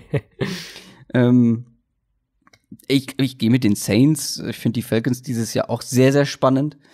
Ähm, aber die Saints haben für mich zumindest auf dem Papier den ausgeglichensten und besten Roster von den Vieren. Ja, für mich war tatsächlich eher die, oder eigentlich nur die Frage, wen ich an zwei und drei setze. Also ich sehe die Saints schon noch mal ein Stückchen davor. Ähm, ja. Im, Endeffekt, ja. also ich habe im Endeffekt dann die Falcons an zwei und die Panthers an drei gesetzt.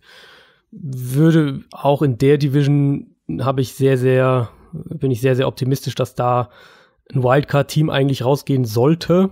Eben, wie natürlich mit deiner Einschränkung, wenn die sich gegenseitig zu viel wegnehmen. Mhm. Buccaneers für mich so, also ich glaube, die Offense wird gut sein. Ich glaube aber auch, die Defense wird halt echt noch problematisch sein und mhm. dafür, also gerade diese junge Secondary und da wird die Offense dann halt vielleicht nicht gut genug sein, um das aufzufangen. Ich glaube schon, dass Tampa Bay einen deutlichen, deutlichen Schritt nach vorne macht. Im Endeffekt sehe ich sie aber jetzt noch nicht als Playoff-Team in der kommenden Saison, auch wenn ich glaube, dass sie ein Überraschungsteam sind, dass sie, dass sie gut sein werden, dass sie offensiv, ähm, dass, dass die Offense Spaß machen wird, dass die Offense auch gut sein wird. Aber die Saints für mich dann doch noch mal einen Schritt vor dem Rest. NFC East als letzte Division, die wir tippen. Da bist du wieder als erstes dran. Wir haben zur Auswahl die Dallas Cowboys, die New York Giants, die Philadelphia Eagles und die Washington Redskins. Ist für mich eigentlich, würde ich jetzt sagen, nach der AFC East die deutlichste. Ähm, also ich habe die Eagles mit einem guten Abstand an 1, sehe die Cowboys als Playoff-Anwärter als auf der 2 und dann nochmal eine große, eine große, große Lücke zwischen den Cowboys und, ähm, und den Giants und Redskins dahinter. Also ja. ich glaube, die zwei werden halt die drei und vier unter sich ausmachen. Ich sehe die Eagles als klaren Favoriten in der Division und Dallas als ein Team, das 8 und 8 gehen könnte, das aber auch mit 10 und 6 mhm. Äh, über die Wildcard reinkommen könnte. Ja, ich habe versucht, wie bei den Chargers jetzt zum Beispiel, weil ich weiß, dass es in einer NFL-Saison am Ende Überraschungen geben wird. Klar, ja. Was auch diese interdivisionalen Rankings angeht. Ähm, weißt du? Also es wird Überraschungen geben. Da landet mal ein Team auf Platz zwei, womit mhm, wir nicht mhm. rechnen konnten. Ich habe versucht, das mit einzubeziehen und vielleicht irgendwie eine Überraschung mir aus den Fingern zu saugen, aber konnte ich jetzt hier in dem Fall auch wieder nicht, weil ich sehe die Eagles auch deutlich noch vor den anderen. Ich glaube, dass die Cowboys durchaus Chancen haben, aber das ist auch, glaube ich, eine Division, wo fast nie sich der Sieger wiederholt, ne, aus dem Vorjahr. Ich Selten, glaube, ja. ich glaube, bestimmt. irgendwie ist da was mit der NFC East. Ähm, und ich glaube, dass es nicht die Cowboys nochmal werden. Dafür, glaube ich, sind die Eagles zu stark. Ist auch auf dem Papier das beste Team. Ich glaube aber, die mhm. Cowboys haben einen guten Roster. Ähm, und könnten vielleicht. Ja, ja. Also auf jeden Fall werden sie lange mitspielen um den ersten Platz. Redskins und Giants habe ich auch nur als Außenseiter. Ja. Wie gesagt, das wird alles bestimmt genau so kommen, wie wir das jetzt prophezeit haben. Aber was auch so kommen wird, sind die ganzen äh, Leader in den einzelnen Statistikwerten. Wir fangen an mit dem Rushing Leader. Da fange natürlich ich an, das ist klar. Ähm, Muss so sein. Absolut. Ezekiel Elliott war es letztes Jahr. Er hat jetzt, wir haben drüber gesprochen, sehr viel Geld bekommen. Und ich glaube, dass das einen gewissen Einfluss auf diese Statistik haben wird. Weil Positiv oder negativ? Für ihn negativ, weil ich glaube, sie werden ihn nicht so komplett verheizen wie die letzten Jahre. Ich glaube, seine Volume wird ein bisschen runtergehen. Dazu hast du mit Tony Pollard noch einen Rookie in den eigenen Reihen, der eine gute Third-Down-Alternative ist. Ich glaube, er wird einfach weniger äh, Rushing Attempts bekommen. Platz zwei war letztes Jahr einer, der diesen zweiten Platz hinter einer schlechten O-Line geholt hat. Diese O-Line wird wiederum verbessert sein. Und ich glaube, dass derjenige auch noch mehr Rushing Attempts als letztes Jahr bekommen wird. Hatte so rund 40 weniger als Elliott. Und er wird noch ein zentraler, also noch mehr im Fokus der Offense sein. Wird sich, glaube ich, selber vielleicht noch ein bisschen weiterentwickeln. Kommt nämlich erst in sein zweites Jahr und heißt Saquon Barkley und wird der Rushing Leader 2019 sein. Und ja, ich weiß, äh, Defenses werden die Box vollstellen gegen die Giants. Ähm, aber trotzdem glaube ich, dass Volume, individuelles Talent plus die verbesserte O-Line dazu beitragen werden, dass dieser Tipp eintrifft. Ähm, können wir, glaube ich, kurz machen, weil ich habe auch Barclay an der Eins mit der Ach. einzigen Frage eben, gegen wie viele Stacked Boxes muss er laufen? Das war letztes Jahr mit, mit knapp 23 Prozent von seinen Runs ziemlich genau im Mittelfeld. Und sehr wichtig, ne, dass die Giants das auch nicht allzu hoch gehen lassen. Ähm, aber eben gerade die Volume bei Elliott wird ein Thema sein. Der hat ja jetzt in seiner NFL-Karriere jetzt äh, drei Jahre gespielt. In einer Saison hat er ja länger, äh, länger gefehlt in den anderen beiden jeweils 15 Spiele gemacht, in beiden Jahren über 300 Runs. Und das, diesen Pace kannst du eigentlich nicht hochhalten. Das sehe ich auch so. Deswegen für mich auch relativ klar dann doch, also ich habe da eigentlich nicht groß überlegt, was dann doch äh, Saquon Barkley. Deswegen können wir vielleicht über einen Überraschungskandidaten sprechen, den der mir noch so dann während der während der Recherche eingefallen ist. Ähm, und das ist Mark Ingram von den Ravens. Nein ganz, also ganz klar, Lamar Jackson wird einen ordentlichen Teil dieser Runs, der Runs in dieser Offense selbst übernehmen. Das muss man mit dazu, mit dazu berechnen. Aber in dieser Offense letztes Jahr oder in der Variante dieser Offense, die wir letztes Jahr gesehen haben, also ab, ab äh, Woche 11 dann in der Regular Season, hatte Gus Edwards im Schnitt immer noch 17,4 Runs pro Spiel. Und wir wissen einfach, dass die Offense freie Runs für die Running Backs, freie, einfache Yards kreieren wird weil eben diverse Read-Elemente eine Rolle spielen werden und die Defense den Quarterback als Runner berücksichtigen muss, ähm, was dann die Zahlen im, im Blocking aus Sicht der Offense vereinfacht. Und äh, das haben wir letztes Jahr ja auch schon kurze, gesehen. Eben mit kurze Frage, gibt es dann bei den Kansas City Chiefs Andy Reid-Elemente? Wow. Wow. Dafür wow. musste ich dich unterbrechen, weil sonst hätten wir den Bezug nicht mehr gehabt. Oh, ich fand ihn gar nicht so schlecht. Also ich, ich, ich versuche versuch darüber hinwegzugehen. Ähm, äh, wir haben das letztes Jahr mit Gus Edwards eben gesehen, weil unter allen Running Backs mit mindestens 130 Runs hatte nur, hatten nur Todd Gurley und Frank Gore äh, prozentual weniger Runs gegen, na, gegen acht oder mehr Spieler in der Box als Gus Edwards. Das heißt, Edwards ist viel gelaufen und Defenses wussten, dass die Ravens laufen wollen. Trotzdem hat er eine vergleichsweise häufig eine leichte Box gegen sich. Und wir gehen mhm. natürlich bei den Ravens davon aus, dass das Run-Game noch deutlich vielseitiger, noch effizienter sein wird, nachdem sie jetzt eine Offseason lang Zeit hatten, um ähm, diese neue Offense einzustudieren. Und wenn ich hier einen Überraschungskandidaten picken, musste, picken müsste, und ich habe mir ja natürlich auch gedacht, dass du Barclay auch an eins hast, und für mich ist er auch die klare Eins. Aber wenn ich einen Überraschungskandidaten picken müsste, dann glaube ich, dass Mark Ingram dieses Jahr überraschen könnte. Okay, jetzt kommen die Argumente dagegen. Gus Edwards, Justice Hill. Und ich glaube, ich habe noch einen vergessen. Ist da nicht noch ein Running Back? Ja, haben die nicht auch einen auf IR gesetzt? Bin ich mir gerade auch nicht ganz sicher. Also klar, da, wird's, da gibt's viele, viele Mäuler zu stopfen, äh, was es jetzt gerade bei den Giants dann zum Beispiel nicht geben wird. Ähm, aber es wird auch viele Runs geben in dieser Offense. Ja, aber ich glaube, also die halten, nach allem, was ich gehört habe, von Justice Hill verdammt viel. Gus Edwards harmoniert super mit Lamar Jackson, hat super in dieser Offense funktioniert, wie du schon gesagt hast. Mark Ingram mhm. mag vielleicht der beste Runner aktuell sein, aber ich glaube, dass am Ende die Volume für ihn alleine nicht ausreichen wird, um in der Gesamtstatistik eine Rolle zu spielen. Ich glaube schon, dass die Offense an sich vielleicht am Ende die meisten Rushing Yards als Offense produziert. Das, davon würde ich fast ausgehen, ja. Ähm, aber ich glaube nicht, dass ein individueller Spieler in dem Backfield so viele Rushing Yards haben wird. Dafür ist er mir auch nicht explosiv genug, ehrlich gesagt. Das ist, also das ist halt die, die große Frage, ob, wie sie diese Runs aufteilen. Ähm, Klar, wenn er wirklich ähm, richtig viele Rushing Attempts, also sagen wir mal, wenn er 250, so, ja. bitte, wie viel? 250 habe ich auch. Ach, haben wir die gleiche Zahl gesagt. Das ist ja. ja. wenn er, sagen wir mal, wenn er 250 Rushing Attempts bekommt, könnte ich mir vorstellen, dass er da ganz, ganz, ganz, ganz weit oben landen wird. Ich gehe aber nicht davon aus. Genau, das ist eben so ein bisschen die Frage. Wenn wir jetzt aber mal so schauen auf andere Teams letztes Jahr, die, die äh, verschiedene Running Backs eingesetzt haben, ähm, also die Bears beispielsweise mit, mit Terry Cohn natürlich vor allem, da hatten Jordan Howard am Ende auch 250 Runs bekommen und, und mit Trubisky läuft ja durchaus auch einiges und die Bears ähm, haben auch den Ball gerne geworfen. Also ich glaube, ich, ich will jetzt nicht sagen, dass Mark Ingram 250 Runs bekommt, aber so, dass der über 200 sein wird, würde ich schon mal sagen.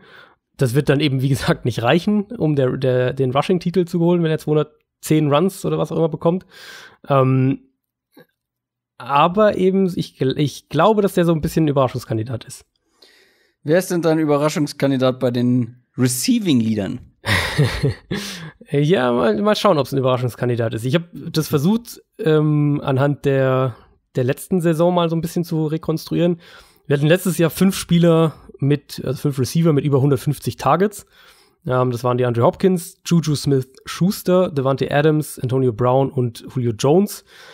Jones hat die Liga angeführt in, äh, in Yards mit knapp 1700, hat auch die meisten Targets bekommen vor Hopkins und dann Mike Evans und Tyreek Hill. Ähm, das heißt, wir müssen auf jeden Fall da auch eben diesen Big Play Faktor mit einbeziehen, ganz klar. Also gerade Mike Evans hatte zum Beispiel fast 30 äh, Targets weniger als Juju und 25 Catches weniger, hatte aber 100 Yards mehr. Ähm, Tyreek Hill sogar 30 Targets weniger als, als Juju oder Devante Adams über 30 Catches weniger als Michael Thomas, trotzdem mehr Yards als alle von denen.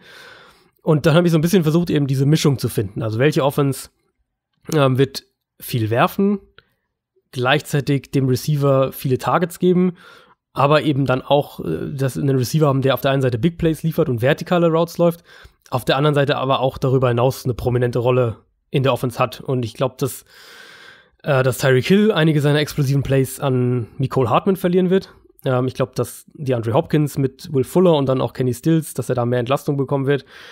Dass die Packers mehr laufen werden und dass da auch die anderen Receiver ein bisschen größeren, größeres Stück, Stück vom Kuchen bekommen. Mhm. Und im Endeffekt für mich waren es dann zwei Kandidaten, nämlich Julio Jones. Und ähm, da sehe ich das Argument, dass der Kötter zurück ist in Atlanta. Das heißt, wir werden ein vertikaleres Passspiel sehen.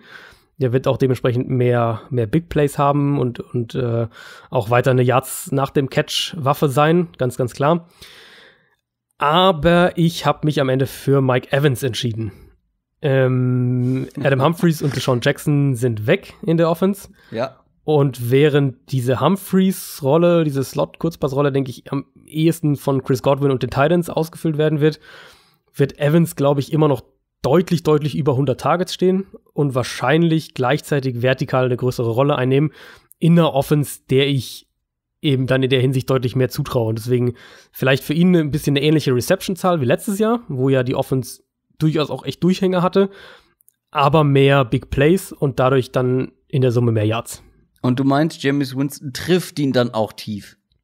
Ich glaube, er wird häufiger offen sein und deswegen wird es leichter sein für Winston, ihn tief zu treffen. Ach, der Sean, Jackson, äh, der Sean Jackson war auch sehr häufig tief offen. Ja, der ist aber zu klein. Und zu schnell. Das konnte, schnell. Das konnte James Winston nicht berechnen. Das war er nicht zu schnell. kalibriert. Ja. Ja, finde ich spannend. Ich habe auch viel darüber nachgedacht. Ich habe es mir am Ende ein bisschen einfacher gemacht. Ich gehe wieder mit der Nummer zwei vom letzten Jahr. Ich gehe mit DeAndre Hopkins. Hm. Ähm, ja, er wird ein bisschen Entlastung bekommen, was, was, ja, weil er auch mehr potente Receiver um ihn herum irgendwie versammeln kann. Das wird ihm vielleicht nicht unbedingt helfen. Was ihm aber helfen wird, ist, glaube ich, er wurde auch das letzte Jahr wieder so häufig in Double Coverage genommen und die haben alles versucht, nur um ja. diesen Spieler ja. zu verteidigen, weil jeder wusste, das ist eine Two-Man-Show, Watson und Hopkins. Und das kannst du jetzt nicht mehr so einfach machen, weil dann lässt du Kyle Fuller tief offen, dann lässt du ähm, Kiki Cutie offen oder ein Kenny Stills oder ein Duke Johnson. Das kannst du so nicht mehr machen. Und ich glaube, dass Hopkins mehr 1 gegen 1 Situationen haben wird. Und in 1 gegen 1 Situationen ist er unglaublich stark. Er wird weiterhin viele Targets bekommen, vielleicht nicht mehr so viel wie letztes Jahr. Dafür mehr Big Plays. Ähm, und dann glaube ich am Ende auch dadurch mehr Yards. Und deswegen wird er der Receiving Leader kommende Saison. Ich siehst du, ich habe es genau dann genau umgedreht betrachtet bei Hopkins, nämlich dass ich denke, dass mit diesen Waffen jetzt gerade in Duke Johnson ja eben eine Waffe, die die äh, Texans so letztes Jahr nicht ja, hatten. wird die Offense auch besser machen. Ganz aber davon klar, profitiert aber, Hopkins auch. Aber ich glaube, dass das ein ähm, zentraler Effekt davon eben sein wird, dass, dass äh, Watson den Ball besser verteilt und dass er den Ball auch mhm. schneller los wird eben. Und deswegen glaube ich, dass, dass Hopkins nicht mehr an diese 159 Targets rankommt, sondern vielleicht eher 100 30, sowas in der Richtung, oder 35. Und damit dann eher so, sagen wir mal, vielleicht nicht, nicht knapp 1600 Yards, sondern knapp 1500 Yards am Ende hat. Naja, also er hatte ja im Schnitt, was habe ich ausgerechnet in der letzten Folge? 171 Targets im Schnitt die letzten Jahre. Mit, ah, mit ja. Playoffs wahrscheinlich dann noch, ne? Also ich habe jetzt nur Regular Season ja. gecheckt. Also letztes Jahr 159 in der Regular Season. Ja, dann wahrscheinlich die Postseason noch mit dabei. Ja, schauen wir mal, wer am Ende recht hat. Ähm, wir kommen jetzt zu den Passing-Führenden oder die, die es sein werden. Da kommen viele in Frage, wie ich finde. Mhm. Da hätte ich auch, glaube ich, würfeln können. Ich habe dann mir ein bisschen, ähm, ein bisschen mit Mathematik geholfen Jetzt bin ich gespannt. Es gibt einen Spieler, der im Schnitt so häufig geworfen hat wie Patrick Mahomes. Aber insgesamt weniger und im Schnitt auch einen Yard kürzer. Aber zum Beispiel auch weiter als Big Ben, der diese Statistik letztes Jahr angeführt hat. Und folgendes wird sich dieses Jahr für diesen Quarterback ändern. Er wird etwas mehr Pässe pro Spiel machen. Und ich glaube, er wird auch weitere Pässe im Schnitt werfen denn er hat insgesamt bessere Receiver zur Verfügung und er hat vor allem auch einen, der endlich mal das Feld in die Länge zieht, der auch tief gehen kann. So einen hatte er vorher nicht. Insgesamt ist um ihn herum eine Offense, wie ich finde, die ohne Lücken ist. Und deswegen wird das eine ganz starke Saison, auch aus Passing-Sicht, für Carson Wentz. Könnte ich mir tatsächlich vorstellen, mit dem einzigen Fragezeichen, dass ich glaube, dass die Eagles ähm, immer noch auch einen, einen, guten Anteil an Rushing Plays ja, haben werden. Das war auch das Argument, was ich in meinem Kopf hatte, was so ein bisschen mhm. dagegen gesprochen hat. Deswegen habe ich mich auch nicht so leicht getan. Ich glaube aber, dass die Offense am Ende so viel Total Stats, Total Yards produzieren wird, dass halt auch viel für die Passing Offense übrig bleibt. Ähm, ich habe es ganz langweilig gemacht. Ich habe ähm, äh, den Zweitplatzierten aus dem letzten Jahr genommen, nämlich Patrick Mahomes, der letztes Jahr schon über 5000 Yards hatte. Ähm, nur Ben Roethlisberger hatte noch mehr, aber, aber Roethlisberger ja auch mit dieser absurden Zahl von, mhm. von 675 Pässen, was sich, glaube ja. ich, auch nicht wiederholen wird. Ich denke eben, dass die Chiefs eine Defense haben werden, die eben gerade auf Cornerback massive Fragezeichen mitbringt und dann die Folge daraus werden viele Shootouts sein. Mahomes letztes Jahr schon mit den siebtmeisten Passversuchen, nur, muss man dann ja sagen, über 5000 Yards eben. Und das ist eben für mich nach wie vor die explosivste Offense mit wahnsinnig viel Speed, mit Mahomes eben auch als Playmaker selbst. Deswegen glaube ich, dass das im Endeffekt Mahomes sein wird, der äh, ja vielleicht auch wieder an, an der 5000 Mark, 5000 Yard Marke kratzt. Sack Leader. Wen hast du? Finde ich schwer. Ich weiß nicht, wie es dir ging. Ähm, Habe ich mich echt ein bisschen schwer mitgetan. Aber ich bin dann zu einem Team gegangen, wo ich, äh, was ich vorhin schon mal so leicht angeteased habe und wo ich einfach glaube, dass die Defense sehr, sehr, sehr gut sein wird und nochmal deutlich besser als letztes Jahr.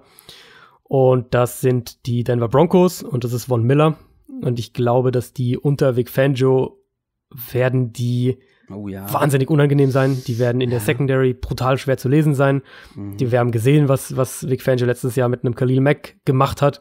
Und äh, man äh, kann argumentieren, dass Von Miller rein als Pass-Rusher noch sogar besser ist als Khalil Mack. Deswegen glaube ich, dass, äh, dass Von Miller dieses Jahr mhm. eine sehr, sehr gute Chance auf diesen Award hat. Wobei ich finde, dass der Sack-Leader auch wirklich der am schwersten ähm, oder mit am schwersten ja. zu prognostizierende ist. Weil am meisten Glück noch mit eine Rolle spielt. Äh, ja. wenn, wir jetzt so, so, wenn wir jetzt sagen würden, wir würden den äh, Quarterback Pressure Leader vorhersagen, wäre es etwas einfacher als den Sack Leader, könnte ich mir vorstellen. Weil bisschen wahrscheinlich, ja. Ist zumindest ist halt stabiler von, genau. von Jahr zu Jahr so. Sacks prognostiz prognostizieren keine Sacks, äh, sondern wenn ein genau. Spieler viele Quarterback-Pressures hat, ist es wahrscheinlicher, dass er viele Sacks hat, aber halt nicht vorausgesetzt, weil ganz oft ist es auch so, wenn du den unter Druck setzt und der Quarterback kann abhauen sozusagen, dass dann jemand anderes vielleicht den Sack kriegt. Mhm. Wie auch immer. Ich habe mir hier auch wieder ein bisschen Mathematik zur Hilfe geholt. Mein Spieler, den ich ausgewählt habe, hatte letztes Jahr nur die 100 meisten Quarterback-Pressures. Nämlich nur 28. Hat aber auch nur sieben Spiele gemacht. Hm. Und Pro Football Focus rechnet so eine Art Durchschnitt aus, wie oft man den Quarterback unter Druck gesetzt hat im Verhältnis zu der Anzahl der Pass-Rushing-Snaps, die man gespielt hat. Und da war er sehr produktiv, denn da war er auf Platz 8. Zum Beispiel äh, ein gleicher Wert, einen gleichen Wert erreicht wie ein Khalil Mack. Mhm. Dazu kommt, dass er nicht ständig gedoppelt wird weil auch der Rest dieser Defensive Line sehr, sehr stark ist. Und, und das ist das entscheidende Argument, er ist, soweit ich weiß, fit aktuell.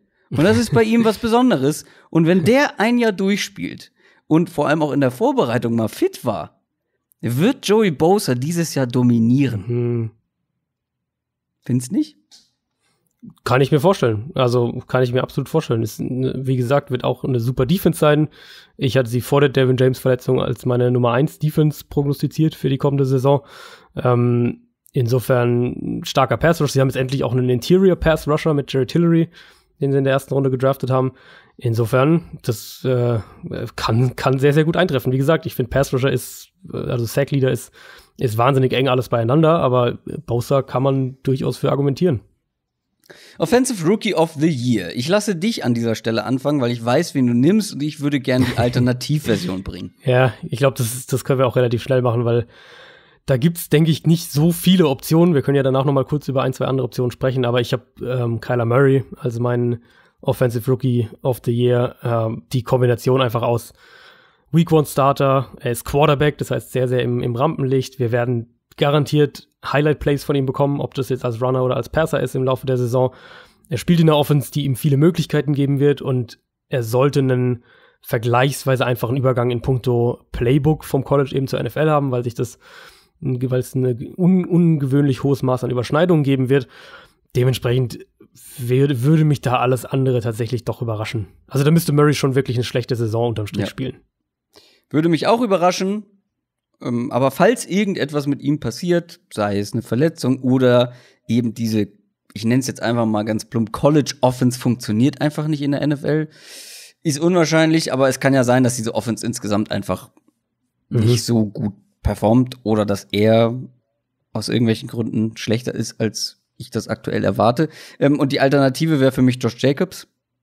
Ja. Äh, auch das kann ich, glaube ich, kurz machen, weil das ist das perfekte Match aus der Möglichkeit, die sich ihm bietet und dem Talent, was er mitbringt, ist für mich der kompletteste Running Back im Draft gewesen, wird viel, viel Volume bekommen, weil keine Konkurrenz auf der Position in dem Sinne. Dazu ein First Round Running Back. Ein Team gibt keinen First Round Pick her, um den dann äh, viel auf die Bank zu setzen. Der wird wahnsinnig viel Volume bekommen. Der hat eine etwas mhm. verbesserte Line zur Verfügung als die Running Backs der Raiders in den letzten Jahren. Wird dazu auch noch viele Targets bekommen, äh, weil er hat einen Quarterback, der es liebt, kurz zu werfen, der es liebt, auf Running Backs zu werfen, gerne auch als Checkdown. Und mit dem Ball in der Hand ist Josh Jacobs wirklich sehr, sehr stark, weil ähm, er kann die Gegner entweder horizontal aussteigen lassen oder umtrucken. Ähm, wie gesagt, ein sehr kompletter Back. Da wird sehr viel Fokus drauf sein. Er wird auch sehr viel Aufmerksamkeit bekommen, eben als Running Back, als First-Round-Pick. Deswegen ist das so die erste Alternative neben Kyler Murray für mich. Ja, wäre jetzt auch meine Nummer äh, zwei gewesen. Ich denke, die anderen, also ich, ich sehe keinen Wide Receiver, der das, äh, der dann eine realistische Chance hat. David Montgomery ist sicher auch ein Kandidat, der Running Back jetzt von den Bears, mhm. der eben einfach in einer deutlich besseren Offense spielt als Josh Jacobs, wird da war im Gegenzug halt nicht, nicht, ja, nicht so die Volume bekommen, genau. Mhm. Ähm, äh, Außenseiter-Pick, ähm, deutlich Außenseiter-Pick, aber so einer, den ich dann in den, äh, also das ist die klare Top 3, aber den ich dann so dahinter ein bisschen noch äh, mal im Hinterkopf hätte, wäre eben so ein Miles Sanders zum Beispiel. Der müsste halt in Philadelphia der klare Starter natürlich werden. Wenn er das jetzt relativ schnell schaffen sollte, dann ähm, spielt er natürlich in einer super Offense und, und in einer guten Offensive Line und ähm, ja. in einem Scheme, das ihn gut einsetzen wird, dann wird der auch Stats auflegen. Aber realistisch betrachtet alles ja, außer Kyler Murray und Josh Jacobs ja. wäre eine Überraschung.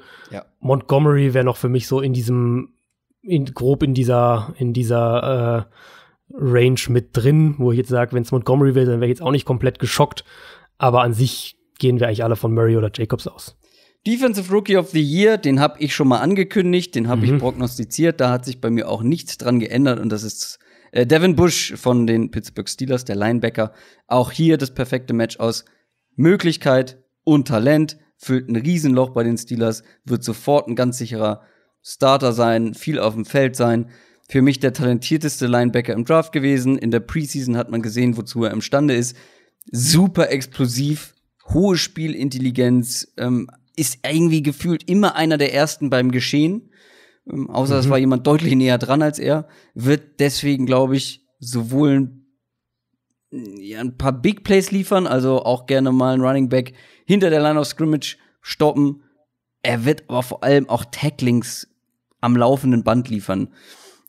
Vielleicht lässt er ein paar Big Plays im Passing Game zu, aber trotzdem wird der ja eine riesen Aufmerksamkeit einfach, so wie ähm, Darius Leonard letztes Jahr mit den mit den unglaublich ja, vielen ja. Tackles, die er gemacht hat. Und ich glaube, Devin Bush wird auch unglaublich viel tackeln, weil er immer so schnell da ist, wo der Ball ist.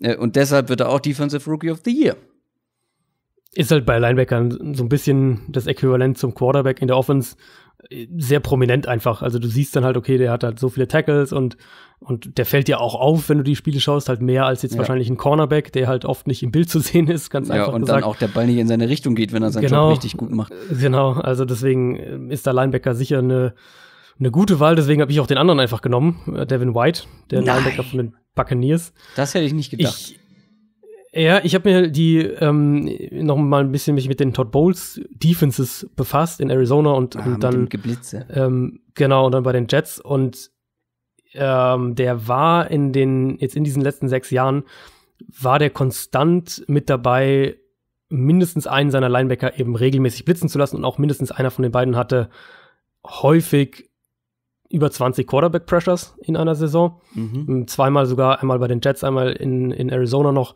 war das jeweils ein Doppelpack, also dass, dass zwei Linebacker so um, um oder über, um die oder über 20 Quarterback Pressures zusammen hatten, jeweils in, in einer Saison.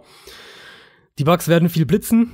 sie haben die Defensive Line mit Vida Weya und Damo Kung Su, um eben auch Räume für die Linebacker freizuschaufeln.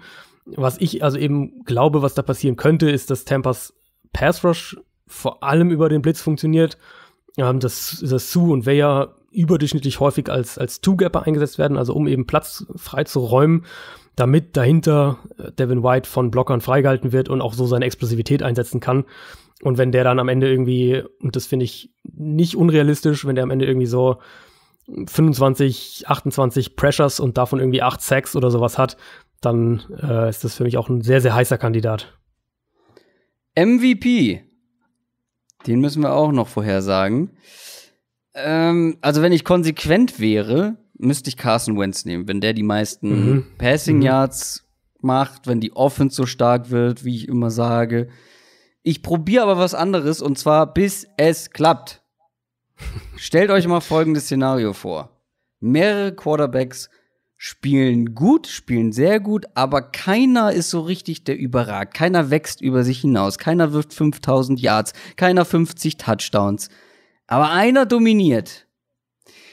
Und vielleicht noch mehr als die letzten beiden Jahre. Weil kann ja sein. Ähm, und das ist einer, der es schon seit Jahren eigentlich verdient hätte, weil er der beste Spieler der NFL ist mittlerweile. Aaron Donald. Mutig. Ja, ich weiß. Wie gesagt, Carson Wentz müsste ich äh, konsequenterweise nehmen, weil, ähm, wie gesagt, äh, kann ich mir einfach gut vorstellen, dass wenn das alles so eintrifft, ich habe ja letztes Jahr den Fehler gemacht. Ich hatte ja die Bold Prediction, die Kansas City Chiefs Offense gehört ja. zu den Besten der Liga, irgendwie zu den Top 5, habe ich, glaube ich, gesagt. Das war damals noch relativ bold, weil man noch kein NFL-Spiel von Patrick Mahomes gesehen hat. Und habe dann nicht Patrick Mahomes als MVP genommen. Deswegen müsste ich jetzt eigentlich konsequenterweise Carson mhm. Wentz nehmen, aber ich will, dass Aaron Donald es wird und deswegen sage ich das jetzt. Ähm, da passt eigentlich genauso meine ersten Stichpunkte, die ich mir bei MVP gemacht habe, nämlich, dass ich mir nochmal bewusst gemacht habe, dass ich bei MVP-Fragen eigentlich nur Quarterbacks ernsthaft in Erwägung ziehe. Ja, ja, ist ja auch klar. Ähm, Macht doch Sinn. Äh, ja, genau. Also äh, es ist halt einfach eine extreme Passing-Liga. Der Quarterback ist die wertvollste Position, ist die auffälligste Position.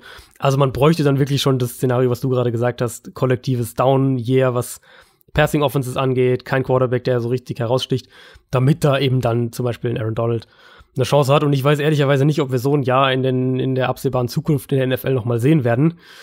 Deswegen tippe ich drauf, dass wir einen MVP-Repeat sehen, nämlich dass Patrick Mahomes seinen Titel verteidigt. Mit noch mehr Waffen jetzt, mit noch mehr Verständnis der Offense, mit vielleicht noch sogar mal wirklich, sogar wirklich noch einem Schritt äh, nach vorne in seinem zweiten Jahr. Also ich sehe nicht keinen, keinen, analytisch keinen Grund, warum die Chiefs Offense irgendwie abfallen sollte. Und ich sehe das auch bei, bei Patrick Mahomes einfach nicht. Ähm, Alternativen für mich, ich habe auch Carson Wentz mal notiert. Ähm, ich glaube auch, dass Baker Mayfield eine Außenseiter-Chance hat, wenn der, wenn diese Browns Offense wirklich extrem abgeht. Äh, Aaron Rodgers muss man sicher auf dem Zettel haben, aber auch natürlich mit massiven Fragezeichen, wenn diese Offense nochmal so das, das Beste aus Aaron Rodgers rausholt, gewissermaßen.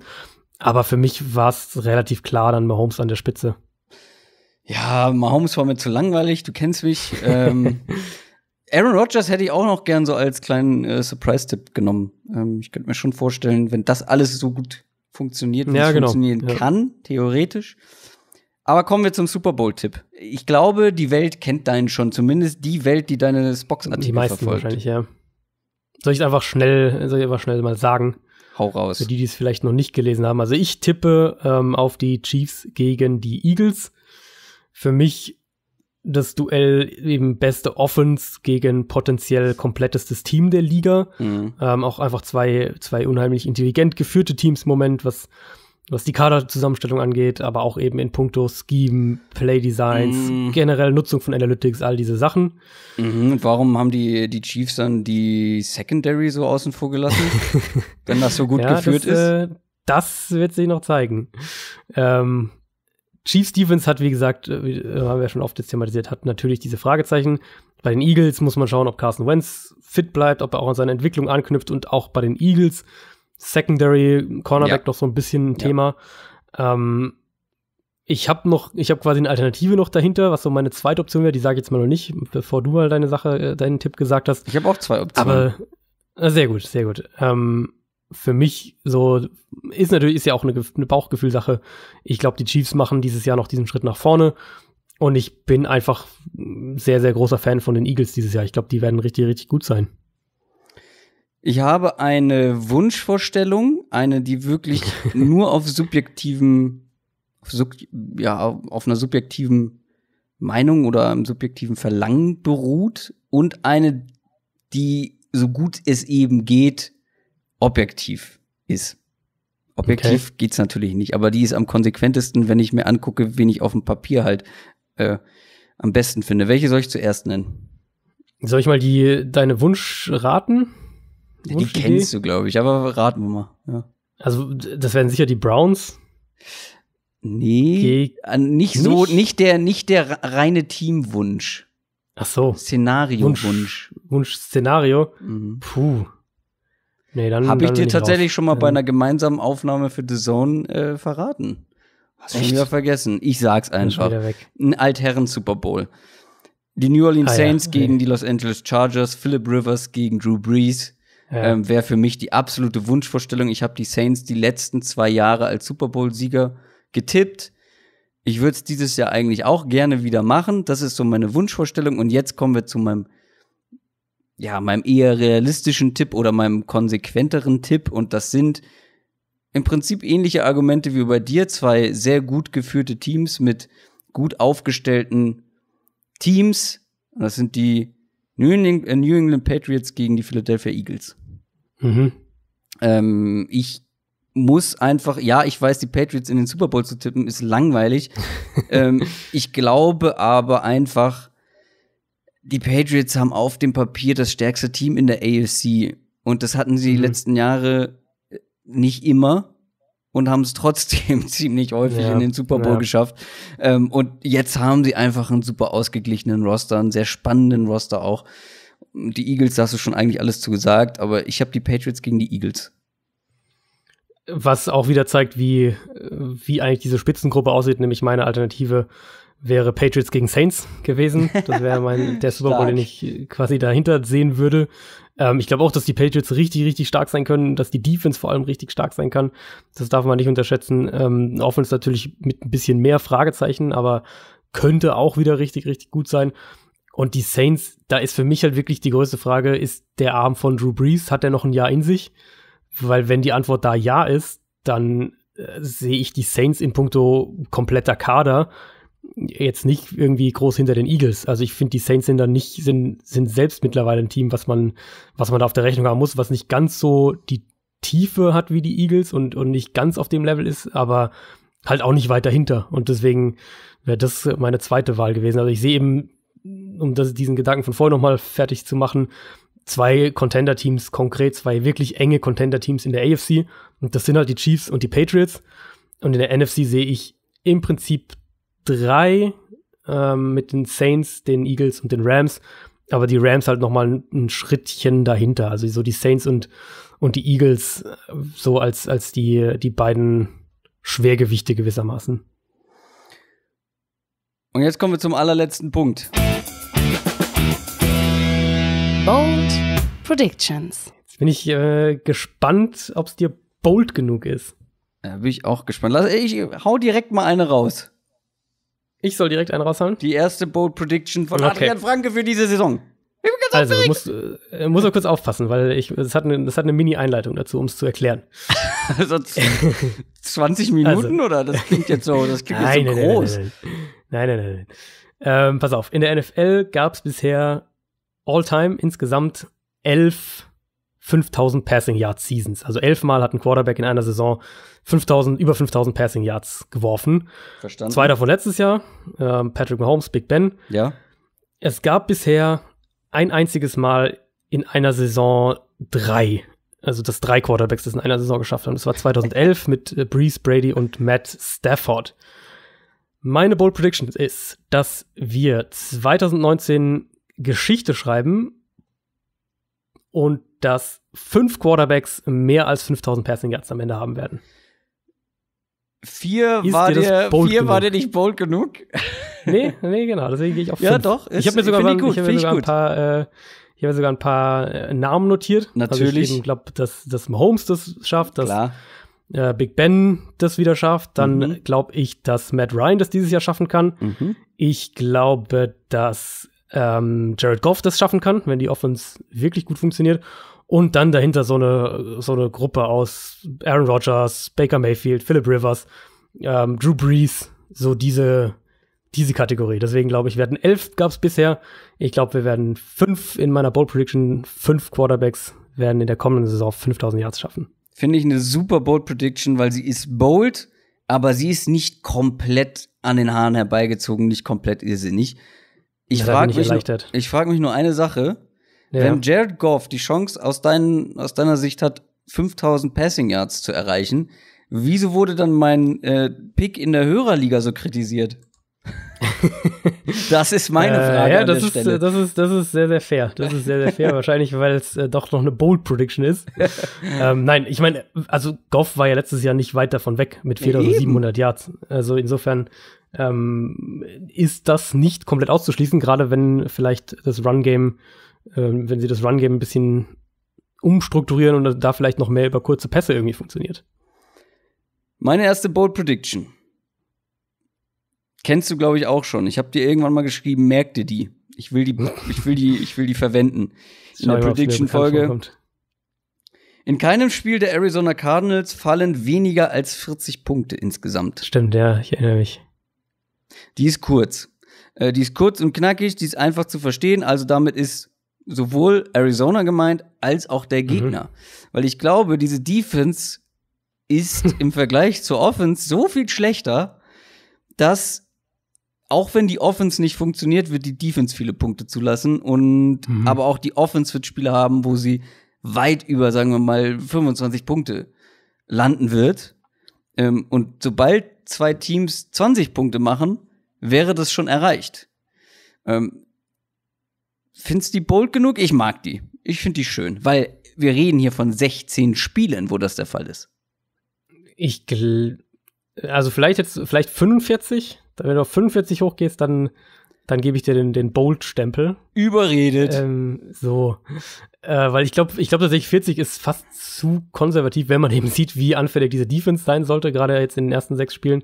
Und ähm, wie aber viel 40 auch, Punkte ist nicht wenig, ne? Klar, ist, ist nicht wenig, aber ich meine, die Offense wird auch extrem viel mit Tempo spielen, also No Huddle. Das heißt, wir werden wahrscheinlich auch eine hohe Anzahl an Plays von der Cardinals Offense sehen.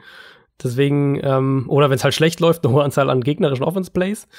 Deswegen glaube ich, dass, äh, Na gut. dass, dass, äh, dass du dann musst du schon auf 45 gehen. weniger als, äh, es fallen nicht, nein, Moment. In keinem Spiel der Cardinals fallen weniger, Weniger als als 45 Punkte. Gut. So, haben wir's. Deine zweite Bold Prediction. Meine zweite ist, ähm, ich bin jetzt auch mal gespannt, was du dazu sagst. Die meisten Rushing Touchdowns für einen Quarterback in einer Saison hatte Cam Newton 2011. Ach, ich weiß 14 schon, Rushing das, ich weiß Touchdowns. schon, worauf das hinausläuft. Die meisten Rushing Yards für einen Quarterback in einer Saison hatte Michael Vick 2006 mit 1039. Meine Ja. Bold Prediction ist, dass Lamar Jackson diese beiden Rekorde in der kommenden Saison nicht nur bricht, also beide, ähm, sondern dass er über 1100 Rushing Yards und 16 Touchdowns, 16 Rushing Touchdowns haben wird. Ja, finde ich gut. Ist dir das ich hab bold dich, genug? Ich habe dich letztes Jahr ganz schön gekränkt damit, dass ich gesagt habe, wir sind mir nicht bold genug. Na, jetzt pfefferst du hier zwei raus, die wirklich, die haben es in sich. Die finde ich beide Ja, sehr, sehr gut. Ähm, Gut. Sie sind schön bold, sie sind aber, wie gesagt, nicht kompletter Wahnsinn. Finde ich gut. Wie viele, sag noch mal die, die Zahlen, wie, was, was schafft Lamar Jackson? 1100 Rushing Yards und 16 Rushing Touchdowns. Boah, das ist schon viel. 16 Rushing Touchdowns. Mhm. Rekord sind, wie gesagt, 14 von Cam in seiner Rookie-Saison. Heide Witzka. Äh, und dann hast du den nicht als MVP-Tipp? Gut, ist die Frage, was da noch durch die Luft dann dazu kommt. Eben. ja, ich muss ganz ehrlich sagen, meine zweite und letzte Bold Prediction ist wirklich nicht so mega super hyper bold. Aber ich finde sie bold. Ich habe auch noch mal auf die Wettquoten getippt. Ja, wir haben gerade unsere Super Bowl Tipps genannt und ich habe ein Team nicht mit reingenommen, weil ich es tatsächlich sehr überraschend fände, wenn sie da äh, in die Nähe kommen, wenn sie das da reinschaffen. Mhm. Und ich lege einfach noch mal eine Schippe drauf. Sie schaffen es nicht nur in den Super Bowl. Meine Bold Prediction ist, dass die Cleveland Browns den Super Bowl gewinnen. Let's go! Und das findest du nicht bold? Sagen wir das so, ist sie doch, ist bold, äh, so. aber sie ist nicht überraschend, dass ich sie bringe. Vielleicht. Ja, gut, das kann sein. Oder? Das, kann, das, das stimmt ein bisschen.